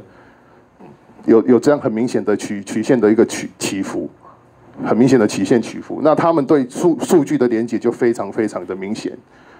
那这个是水下的一个监视系统哈，因为水下的水下摄影机。目前来说，在高浊度的环境其实是看不到，但是我们已经开发到一个基本的一个浊度，我们还看得到底部的虾子的一个色的情况，还有我们有用抗海水的一个摄影机辨识水面的一个色的情情况。好，这个部分我们已经做到将近七成的一个一个一个步骤了。那连接摄影机，其实我我想要在这个部分多稍微琢磨一下，就是说，我们很多养殖业者投耳机开了。今天鱼不管吃或不吃，它一样都投；或是温度改变了，它吃或不吃，它一样都投。所以我们希望透过这个水上智慧辨识的部分，来来了解说，今天我投料了，鱼不吃，那我是不是要把饵料减少一半？我继续投，投了半小时，它继续不吃的时候，我是不是把投料机关掉，并且产生一份报表，叫做我投了多少饵，你鱼没有吃。然后我的投料投料机里面还有多少料？那我隔了多少？比如说两个小时或三个小时之后，我再继续投饵，它再不吃，我再产生报表。我们用这样子的方式来节省我的饵料，避免底值的质变跟所谓的这个水质的质变，然后也节省了这个成那个饲料的成本，增加换换肉率。其实挪威他们这个鲑鱼的，像健身跟我分享，挪威鲑养鲑鱼他们换肉率一公斤的饲料。呃，可以换到一公斤的一个鱼肉的时候，他们其实也是用类似的做法，只是他们比我们稍微再先进一点点。那我们也是朝朝着这个目标下去前进。好，这个就是我们数据分析的一个应用软体。那这个部分就是我要强调，数业经验法则数据化是很重要，非常非常重要。这是未来我们管理我们鱼池一个最重要的一个利基点。那这个保养剂跟保底长效型跟底。保养型的底质保养剂，其实这是我们针对养殖我们回收到的一个参数之后，我们去做的一个一个产品。这个产品它可以真的有效的保养我们的底质。像这个这个这个鱼池，它右手边这张图片，它已经拿来讲都走去啊，它也不管了，它就投了三四包下去，在它鱼池。五天之后，它把这些藻类弄掉之后，其实它这一个。这一个养白虾这个部分，他今年收了五成，他今年收了五成。他说他从来养白虾没有超过一成过，他养了六年没有超过一成过，他这一次可以养养到五成，他也很开心。好，这个就是水质的一个一个一个对对照的一个图。那再就是说生产履历、加工履履历的整合，其实这个部分我觉得也很重要，因为呃，其实我们假设我今天生产了一批鱼，那一千斤交到渔场里面。其实业者他们并并不知道这一千斤里面是有几条鱼，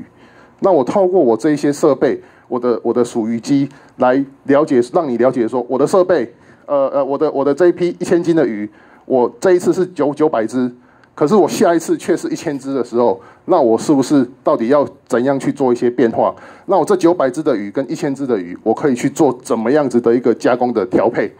我加工出来的产品本来可以有一顿。有两吨，那我透过我这样子生产履历的一个整合的时候，我可不可以更知道说，哎，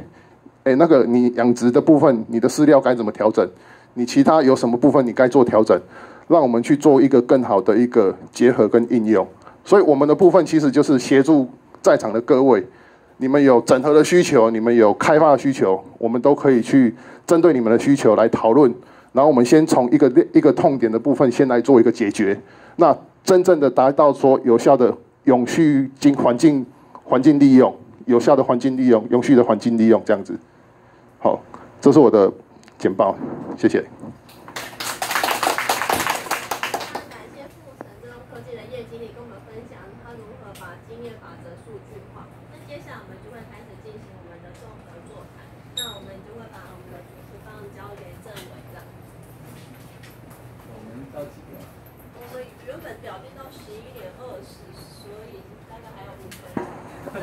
到十一点半，那十五分钟这样继续。OK。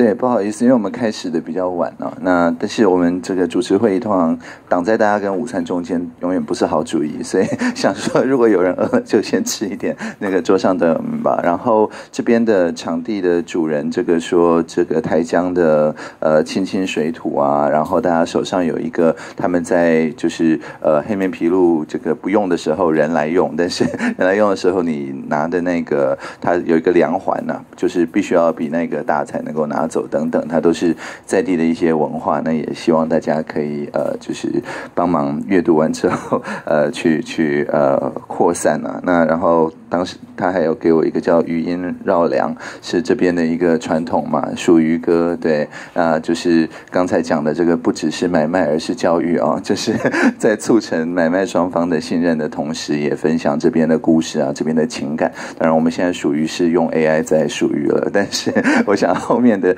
就是说，让大家在建立互信的这个呃，我们叫万物联网的这个技术后面，还是有一个很重要的，就是说，那呃，消费者即使在很远的地方，也可以通过这样子的技术来了解这个生产者所在的这个情境。我想这个也是虽然这个嗯，就是大概没有办法再靠属于歌，但是其实这个合成属于歌也是可以想象的。Anyway，但是我我要讲的是说，呃，今天其实我我自己学到很多，然后也很高兴大家分享实际在第一线碰到的，就是很多观察。那其实很多朋友提出的问题，诶，其他朋友好像已经有一部分的解决方案，有一些朋友碰到的这个状况，有前辈 也也也碰到过，所以我我想，因为我我们把前面的这个引言跳过了，我们是不是还是请中技处呃的副组长来跟我们分享一下，说，诶，今天所学习到的。那接下来的话，可能就是麦克风就直接往右传，这样传一圈，那看有没有什么就是希望呃促成，在看未来会看这个录影或者看这个逐字稿的朋友们，有没有什么你呼吁特定的想要看到的人可以做的，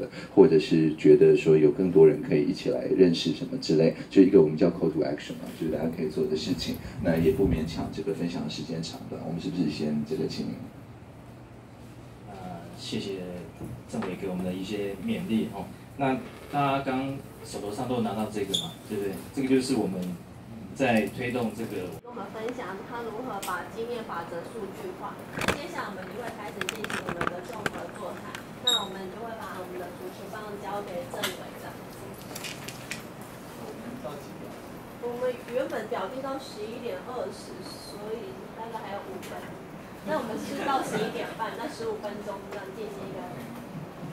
对，不好意思，因为我们开始的比较晚，那但是我们这个主持会议通常挡在大家跟午餐中间，永远不是好主意，所以想说如果有人饿了，就先吃一点那个桌上的米吧。然后这边的场地的主人，这个说这个台江的呃清清水土啊，然后大家手上有一个他们在就是呃片面琵鹭这个不用的时候人来用，但是 人来用的时候你拿的那个它有一个梁环的、就是必须要比那个大才能够拿走等等，它都是在地的一些文化。那也希望大家可以呃就是帮忙阅读完之后呃去去呃扩散嘛。那然后当时他还有给我一个叫余音绕梁，是这边的一个传统嘛，属于歌对，呃就是刚才讲的这个不只是买卖，而是教育啊，就是在促成买卖双方的信任的同时，也分享这边的故事啊，这边的情感。当然我们现在属于是用 AI 在属于了，但是我想后面的就是说让大家在建立互信的这个呃我们叫万物联网的这个技术后面，还是有一个很重要的，就是说那呃消费者即使在很远的地方，也可以通过这样子的技术来了解这个生产者所在的这个情境。我想这个也是虽然这个嗯就是大概没有办法再靠属于歌，但是其实这个合成属于歌也是可以想象的。Anyway，但是我我要讲的是说，呃，今天其实我我自己学到很多，然后也很高兴大家分享实际在第一线碰到的，就是很多观察。那其实很多朋友提出的问题，诶，其他朋友好像已经有一部分的解决方案，有一些朋友碰到的这个状况，有前辈 也也也碰到过，所以我想，因为我我们把前面的这个引言跳过了，我们是不是还是请中技处呃的的副组长来跟我们分享一下说，今天的所学习到的。那接下来的话，可能就是麦克风就直接往右传，这样转一圈，那看有没有什么就是希望呃促成在看未来会看这个录影或者看这个逐字稿的朋友们，有没有什么你呼吁特定的想要看到的人可以做的，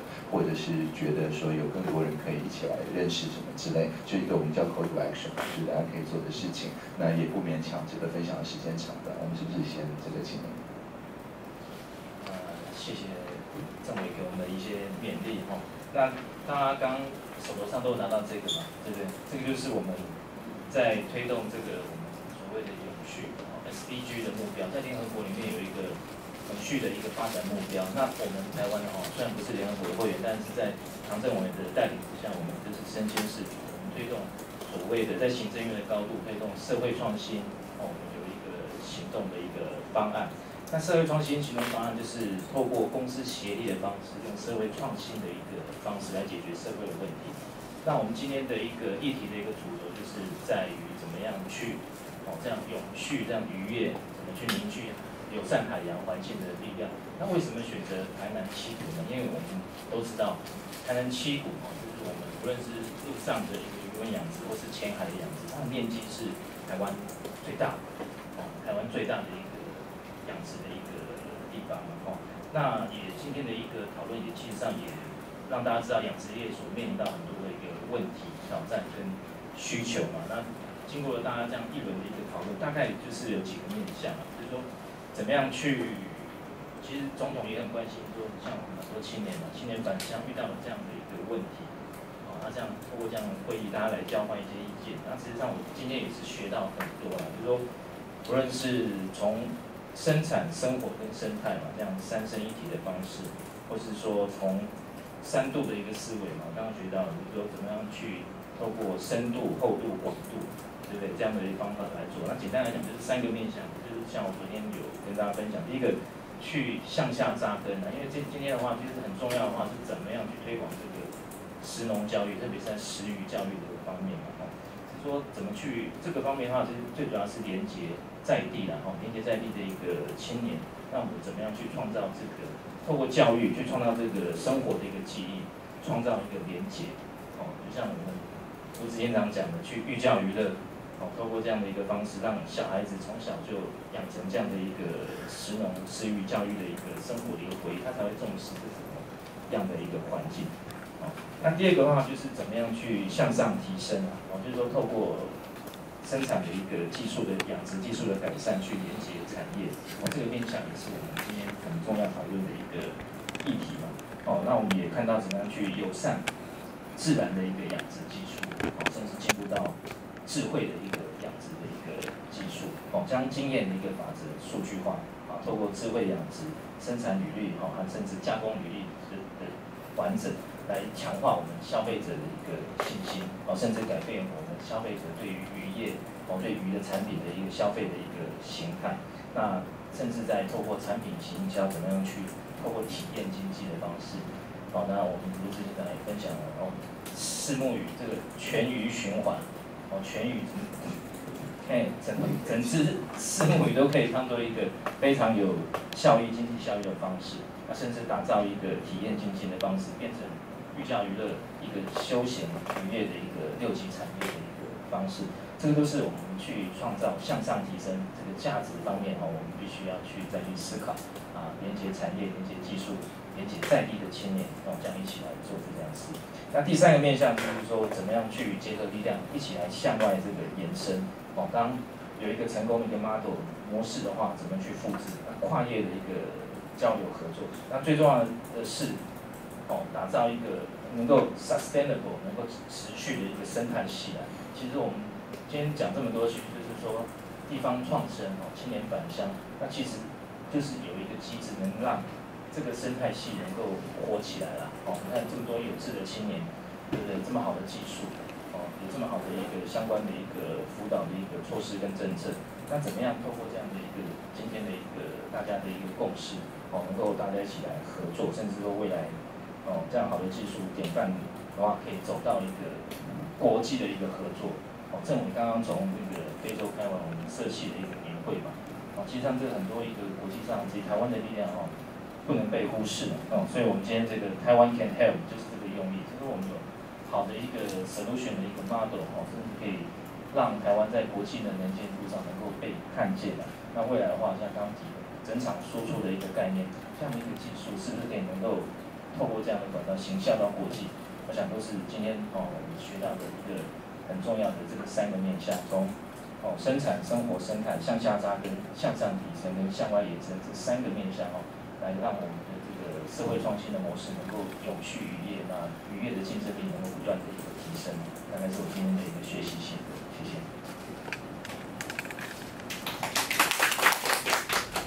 呃，谢谢各位。呃，这个脑海中不断在转着，十七年的过往哈，呃，怎么会有这种洒劲、这种勇敢，然后还要一路走下去？呃，我我常常在，呃，就是呃，在这个接待客人的时候，我会呃碰到各式各样呃，这个不管是一般来的随意观光的散客，或是有一些专门目的啊进来的客人哈，然后我我常常有一些很大的冲击，然后就是。呃，像呃，我在呃这一段时间，我常常遇到有一些呃，譬如说像菲律宾的参访团，呃，他就是台湾人带着台湾的投资人到了菲律宾去，菲律宾是一个呃，虱目鱼是它的国语，那我们台湾是一个呃很好的一个 demo 的样板，就是我们台湾是一个很成功的虱目鱼完全养殖区，然后呃，这个虱目鱼之于菲律宾，我想它就是一个国鱼的一个这样子的位置，但是呢，他们还一直停留在呃，就是没有任何的加工，呃，你可能呃就是市市井小民传统这样的吃法，呃，完全对于加工这一块是陌生的。然后，呃，我我我我在去年已经遇到了两三次这样的一个参访团哈，有当地的省长，然后带着我们台湾人，然后就是一一同浩浩荡荡来台湾，然后从北到南，然后看了一轮之后，呃，回去这个台湾人跟我联络，呃，是不是有可能呃来这里成为我们的团队，或是来这里投资？你需要的鱼我可以销售给你，因为我们这里有绝佳的环境啊、然后纯天然的水域。然后完全没有台风，一年可以两艘。然后我的是，呃，纯天然纯有机的，然后价钱你的一半，好，就是我可以销售回来给你。那你要什么样的规格，我都可以可以处理。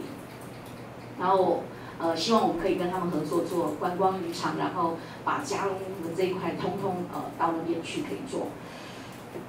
那那我的回答是我我狼老啊卡瓦你知道吗？然后他就送我一句说啊你看爱狗啊你好，我比较爱国。其实其听了之后自己会有点心有戚戚焉。呃，我我我很努力的跑，我很努力的在做，可是我们还是很慢，还是很慢。然后你没有办法呃抵挡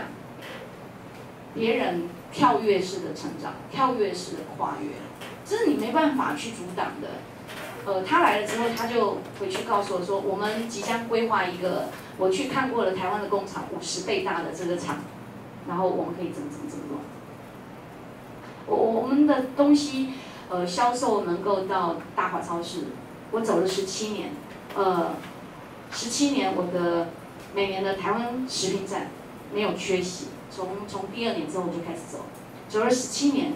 才有了敲门的机会，然后可以。让超市愿意稳定下单，这这很困难，这很困难，因为展会要钱，什么都要钱，一个人很难做到。但是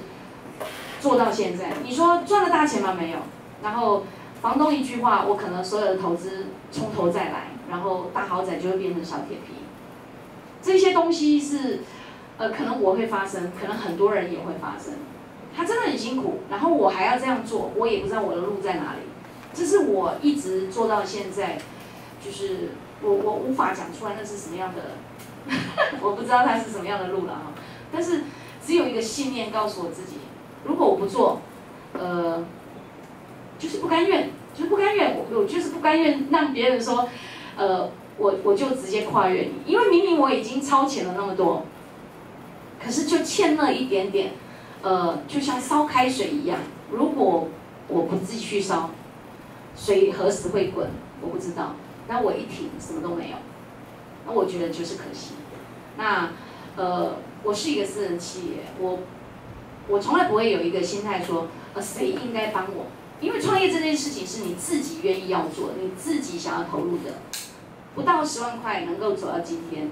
呃，如果成功的定义它是算赚大钱，嗯，应该还很遥远。但是如果成功的定义是我找到我存在的价值，那我想我自己是很肯定。那，呃，我只能靠洒劲支持。可是如果靠洒劲就能有饭吃过活，我觉得那好像也不是健康的心态。所以这是我的一个一个一个一个存在的想法。对，那呃，我是不是还能够继续走十七年？我我不知道。但是就是不但给自己打气，坚持努力不放弃，才能看到明天的太阳。对，那我我想这也是我们渔业遇到的很多共同的困境。啊，就再次分享，谢谢。大家好，我我大概分享一些，因为我刚刚可能开了这个头跟半路出家，就大家每个人都用这个开口，然后我就发现一件事情，就是关于年轻人这件事情，就是呃，我我分享一下，就是说呃，我们自己在呃，比方说刚刚刚卢姐说怎么样让三老的人回来，那其实我们我们认识的是年轻人。我们自己觉得说，怎么样在贩售跟教育之间找到一个位置？那我们常常在分析说，怎样做的？我们这种教育的受众是谁愿意掏钱？就是亲子。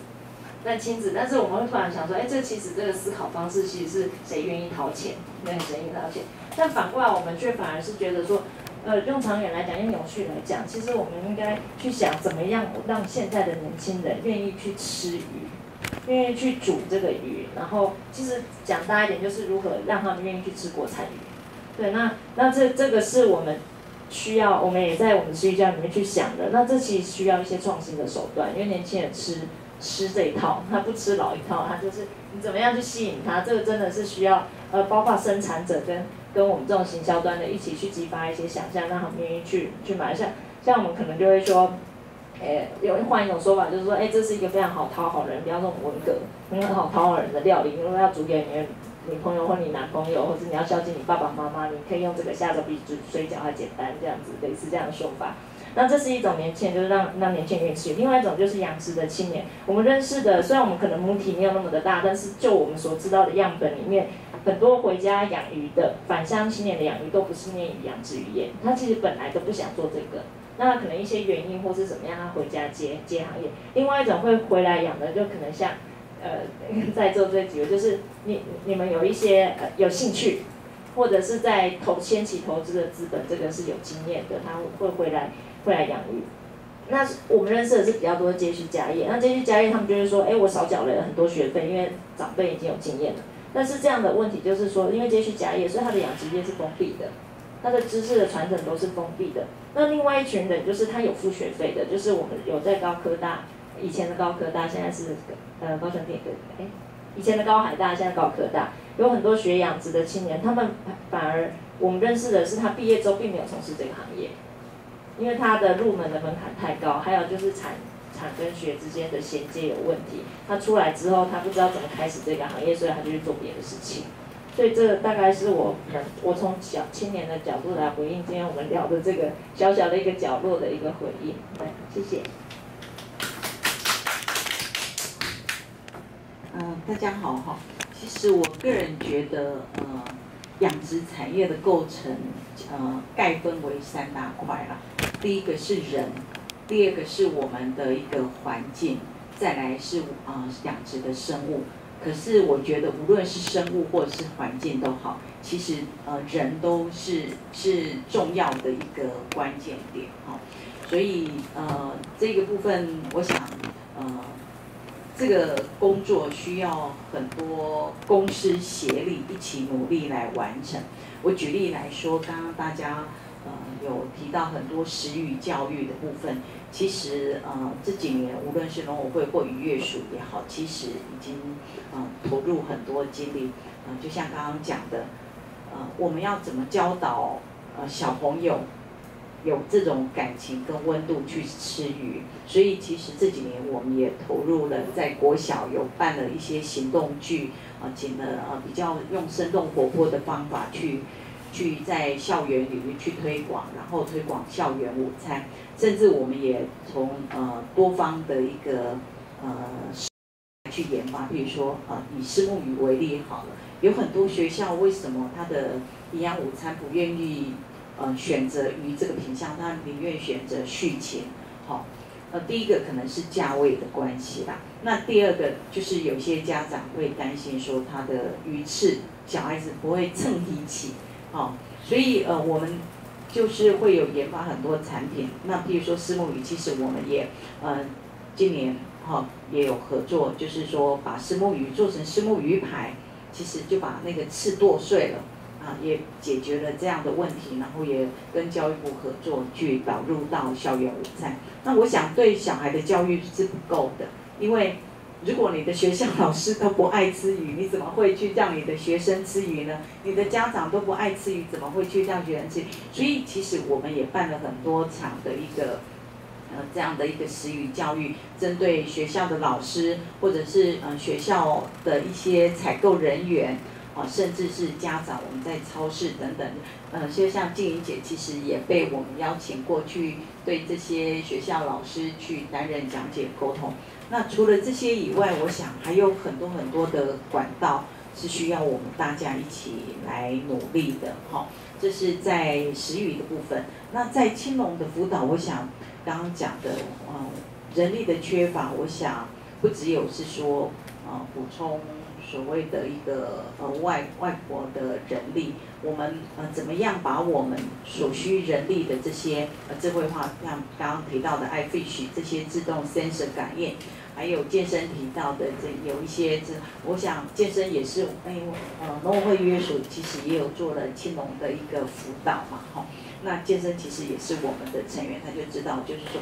其实呃我们就会有一对一的陪伴，哦看其实不同的人。刚刚提到的，也许有一些它是需要养殖的技术，有些可能是需要行销的推广，或者是另外方面的技术，我们会有这样的辅导陪伴，甚至是说，哎，因为青年人对于薪资的接受度比较高，所以我们会安排参访，就像刚刚先生提到到挪威去参访，在挪威这样子的一个国家，他们对于所谓的自动化或者是企业化的一个呃。这样子的一个经营，我们可以自己做什么样的改变？好，这些都是我们在做辅导的。那我这边要特别感谢我们经济部啦，因为我想光刚刚讲的公司协力，那公的部分光靠农委会力量可能也是不够。我也很感谢经济部可以投入，因为呃我们有一些经验，其实也需要呃借重呃。以前经济部在辅导中小企业的这种呃经验模式，所以其实现在农会也蛮多呃案子，比如说跟呃中国生产力中心也好，或者是那个嗯一下子想忘记在 在那个杭州南路上的那个。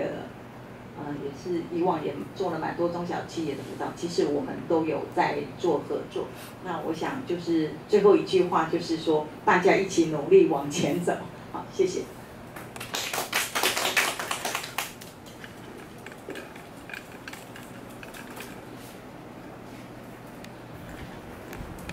哎，大家好哈，那个今天来参加这个座谈，哎，让我收益蛮多的，我很高兴。今天有那么多年轻人投注在这个产业，那实际上，在这个生态养殖这个产业，呃，我摸索了大概二二十几年了吧。大概实际上，实际上这个产业要成功，它的问题点蛮多的。那实际上以我的经验，实际上它这个产业要要要成功，大概最重要就是在它在于它的市场，所以它的产销是非常的重要的。所以刚刚有。诶，年轻一辈来跟我讲，对，就是市场。实际上，市场是最难的。然后刚刚听了卢子新长，还有那个古贺余香这三位年轻人的努力，老老实讲，我感佩很很他。实际上，诶，就像我们在做技术面的现场工作一样，诶，养殖要成功，技术要成功，就是要傻瓜。所以有时候同事会笑说，你只喜欢工，但是没有错啦。一，诶，你就是要心，你要执着。所以我很感谢诶，这这这几位的年轻人。另外，在那个诶，现在也慢慢从传传统养殖走入到诶资讯化时代，进入了 AI。然后我刚也听到几位的呃公司也发表他们的呃他们的产品哈。那我我有一些疑问了，现在目前的话，大概在技术面都已经成熟了，然后我也不希望你们再走一条龙的路线，太辛苦了。我是希望你们可以透过彼此团体的呃整合，哦，像相互结合的方式来共同去促销，不要再走一条龙的路线，真的很辛苦了。那尤其当呃应该是风云公司嘛，你们现在在研发那个呃基础系统嘛，哎，实际上鱼苗的基础系统，实际上我我所知道接接接触的也蛮多的，现以现在工联也有在做，所以我认为你们自己公司。人也没有那么多，我觉得这个部分你们要好好再考量一下，因为别的研发单位他们有限制的东西，你们可以拿来利用就好。基础系统就是跟风也不会太高，所以是讨论好。然后，然后再根据一些设备商的话，哈，他一些开发出来的东西，他都会跟我们讨论。实际上有些不是他推不出去，因为是还没有完全成熟，而且你这些东西你要应用在。水产里面，尤其是在海水海水环境里面，它还有一段路要走。但但是不管你们有这种傻劲，我很佩服。哎，但是这这个东西要慢慢再去突破，没实际上没有那么简单的。那以养殖部分，以我个人来讲，我目目前也误导了这样几家的业，甚至有些是大厂商。然后我看他们一路走过来，真的很辛苦。呃，以天河来讲，我想各位都很清楚。天河实际上，实际上我我辅导是在种苗繁殖部分，实际上他们整个公司的生产，我觉得实际上都有有重新再去检讨的必要嘛。啊，实际上他们真的走一条龙路线，真的走得很辛苦很辛苦。啊，所以有时候碰到老董，我也不知道怎么讲，毕竟他是我的长辈，呃。那真的是很高兴来，因为现在这几位的年轻的投入，我想大概是对呃养殖界能够注入性的那个那个新气象。好，这以上是我的今天一个心得，谢谢。大家好，我是股份鱼香的小金。那今天就是很高兴可以在这边，就是一直听到大家不一样的分享。那其实想要就就是呃我们股份鱼香这样的小小的角色，可以怎么样去做呃在今天上面有个回应，就是呃因为我们其实一直在建立我们在消费者跟生产者之间的一个桥梁媒介的关系。那呃，今天很多就是前辈们都提到说，有些相关的，比如说技术啊，怎么样智慧化或者是做种鱼的繁养殖，让我们的就是养殖的技术可以更提升。那我我在可能或许我们回到我们这边可以思考，我们在这个方面的角色可以成为是让消费者怎么样去透过他们去了解呃我们现在养殖技术的改善，然后可以怎样去提升我们自己本身吃的间呃的物种本身。那这样子透过消费者的理解，然后进而去支持他的水产品，让生产者他能够去，嗯，因为知道消费者去支持这件事情，然后愿意再去提升他去，呃，就是生产者去改良他的技术，然后这样子这件事情，那或许我们在这方面可以再多多把这样子的智慧化等等这样的的故事，或者是，嗯，生产者他们去结合的这样子的一些经验，那让消费者能够知道，那让这样子的循环正向循环可以继续再向前推进，那这是我们之后会再去努力的部分，谢谢。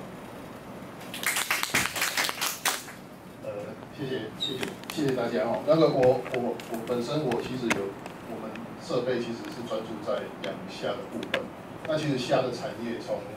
从种苗开始，育种开始到种苗到培育到环境，到到所谓的一个加工，其实都每一个环节都有很大的问题。那我想这个问题可能也不是一时之间可以解释的清楚。那所以这个部分产官学的合作我觉得很重要。这个我觉得势必可能有机会可以做一个专题的一个研究。那再来就是说，其实给年轻人吃鱼这一块，其实我有个建议，就是说，其实像国外他们，他们要推广一个产业，他们会做一个动作叫做比赛，他们会比赛。那这个他们国外国外有很多的竞赛，包含在电视上面去做这些竞赛的活动的时候，会吸引到很多的关注。那这个关注的时候呢，可以让消费者更了解这些鱼，透过呃，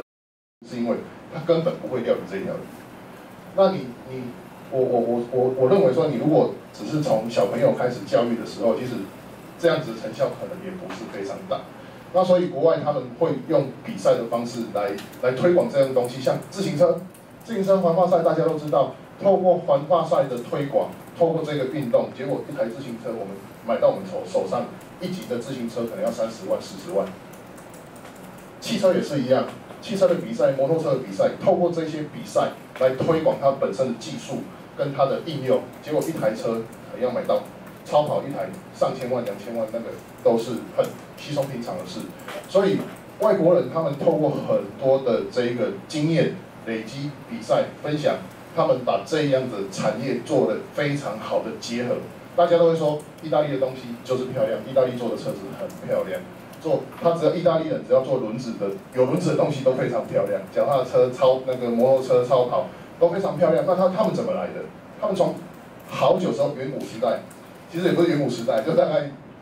五五六十年前，他们就开始在做这样比赛的运用。那环法赛的的这个部分也差不多是一百年的历史而已。那我们水产养殖的部分，何尝不能做这个方式？养用用比赛，哎，怎么料理虾子？怎么料理？丝木鱼怎么处理丝木鱼？怎么处理无锅鱼？怎么处理文蛤这个部分，来做一个比赛，来做一个分级的制制度。其实我觉得很有机会可以把这一个市场给做起来。但是当然就是要有相关的媒体，或是透过节目来做这样子的一个宣导跟招揽。我们在比如说，像像健身这样子的青农，他们可以去参加这一些电视节目的演出，来来来做这一些呃水产品的加工的一个比赛。我相信这个是很有很有一个号召力的哦，这是我的分享，谢谢。好，的我就简单分享一下，可能大家都提到这个市场的问题了，但是如果看国内市场，当然是觉得是内忧外患的哦。那如果说看全球市场的话，你就会不一样的眼光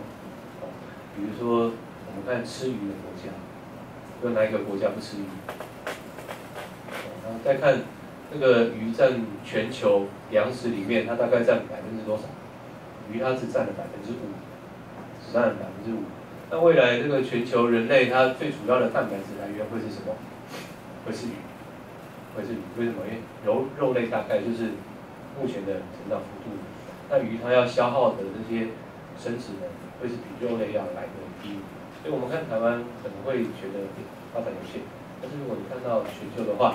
那个眼光又是不一样，但是要怎么做到全球的市场？我个人觉得，是个人观点，我鱼不一定要养在台湾，对，我可以在全世界养鱼。对，那全世界养鱼是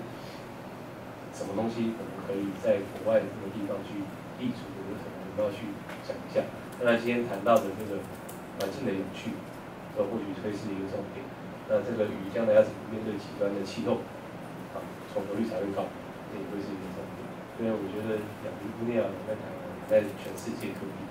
特别养在落后国家，我觉得他们最开心，对不对？他们自己还可以吃，啊，然后我们还可以帮他卖，对，彼此共，好，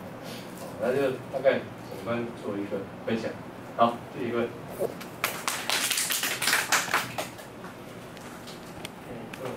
大家好，就是我是分享我自己个人的部分，就是说，其实我们也做很多推广。换手是因为我今天，我其实我也是就像刚刚研究讲，我比较多针对主题性的问题，就是现在是科技的部分是我们生产端重点，但是我们早期是很早就开始做推广，所以才会呃或者说起家这么快，才卖了这么的多的鱼，所以我觉得推广这件事情是非常重要。那我给大家一个分享一个点，就是说像呃我们去国外展览，现在其实以前都在国内。后来去国外展，最大的问题点在国外不是价格战，一点就是他一定跟你说，那但是去越南的都挺便宜啊，或者这个就很难跟他拼搏。那所以在台湾，我们目前大部分出去的出口的，都是他跟你讲说，哎，你的品质跟吃起来的感觉，他就是觉得比较好。那可能是风味上，也有可能是各种情况，但是他没办法说得上来，或者是其他的，我们不要讲政策面的，然后。起码在至少在这一块是长这样子，那为什么会有持续性有这种状况可以可以贩售？我们一直在探讨，因为我们是生产，我们需要能把它稳定照它那个方向去。我们做不到非常大的，小的那个又觉得成本没合，哦，所以就变加工间是痛苦一点。所以我认为行销这端是细水长流，一定要做。但我觉得加工那端真的有很大的挑战。如果可以做得好的话，只要总我们说就是讲还有一丢吧，一起盖，对我一个一直价嘛，那我们就方向往那方向去，不要说又跟人家回来打原料，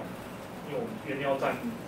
就像刚刚可能那个陈先生说，那我真的出去养，因为我成本全部都下降，就非常的多。我如果现在去越南，因为我们已经是很多经验的前辈嘛的的经验分享给我们，所以我们认为在这一端上面。他们现在是因为环境特好，但他们开始搞砸的时候，他也是细水一下来开始完蛋。那如果我们这样去的话，说不定真的能永续。可是我们是帮他永续，对 不对？我们不是不是自己永续的，但是成本是一定下降啊。所以我们那个商业的角度来看的话，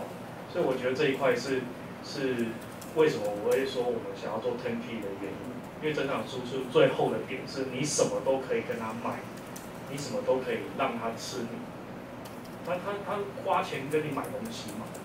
对不对？那这样的东西他只要复制能力越晚，或者说他越难复制的话，那我这个营业比较好走，这是我的想法。谢谢大家。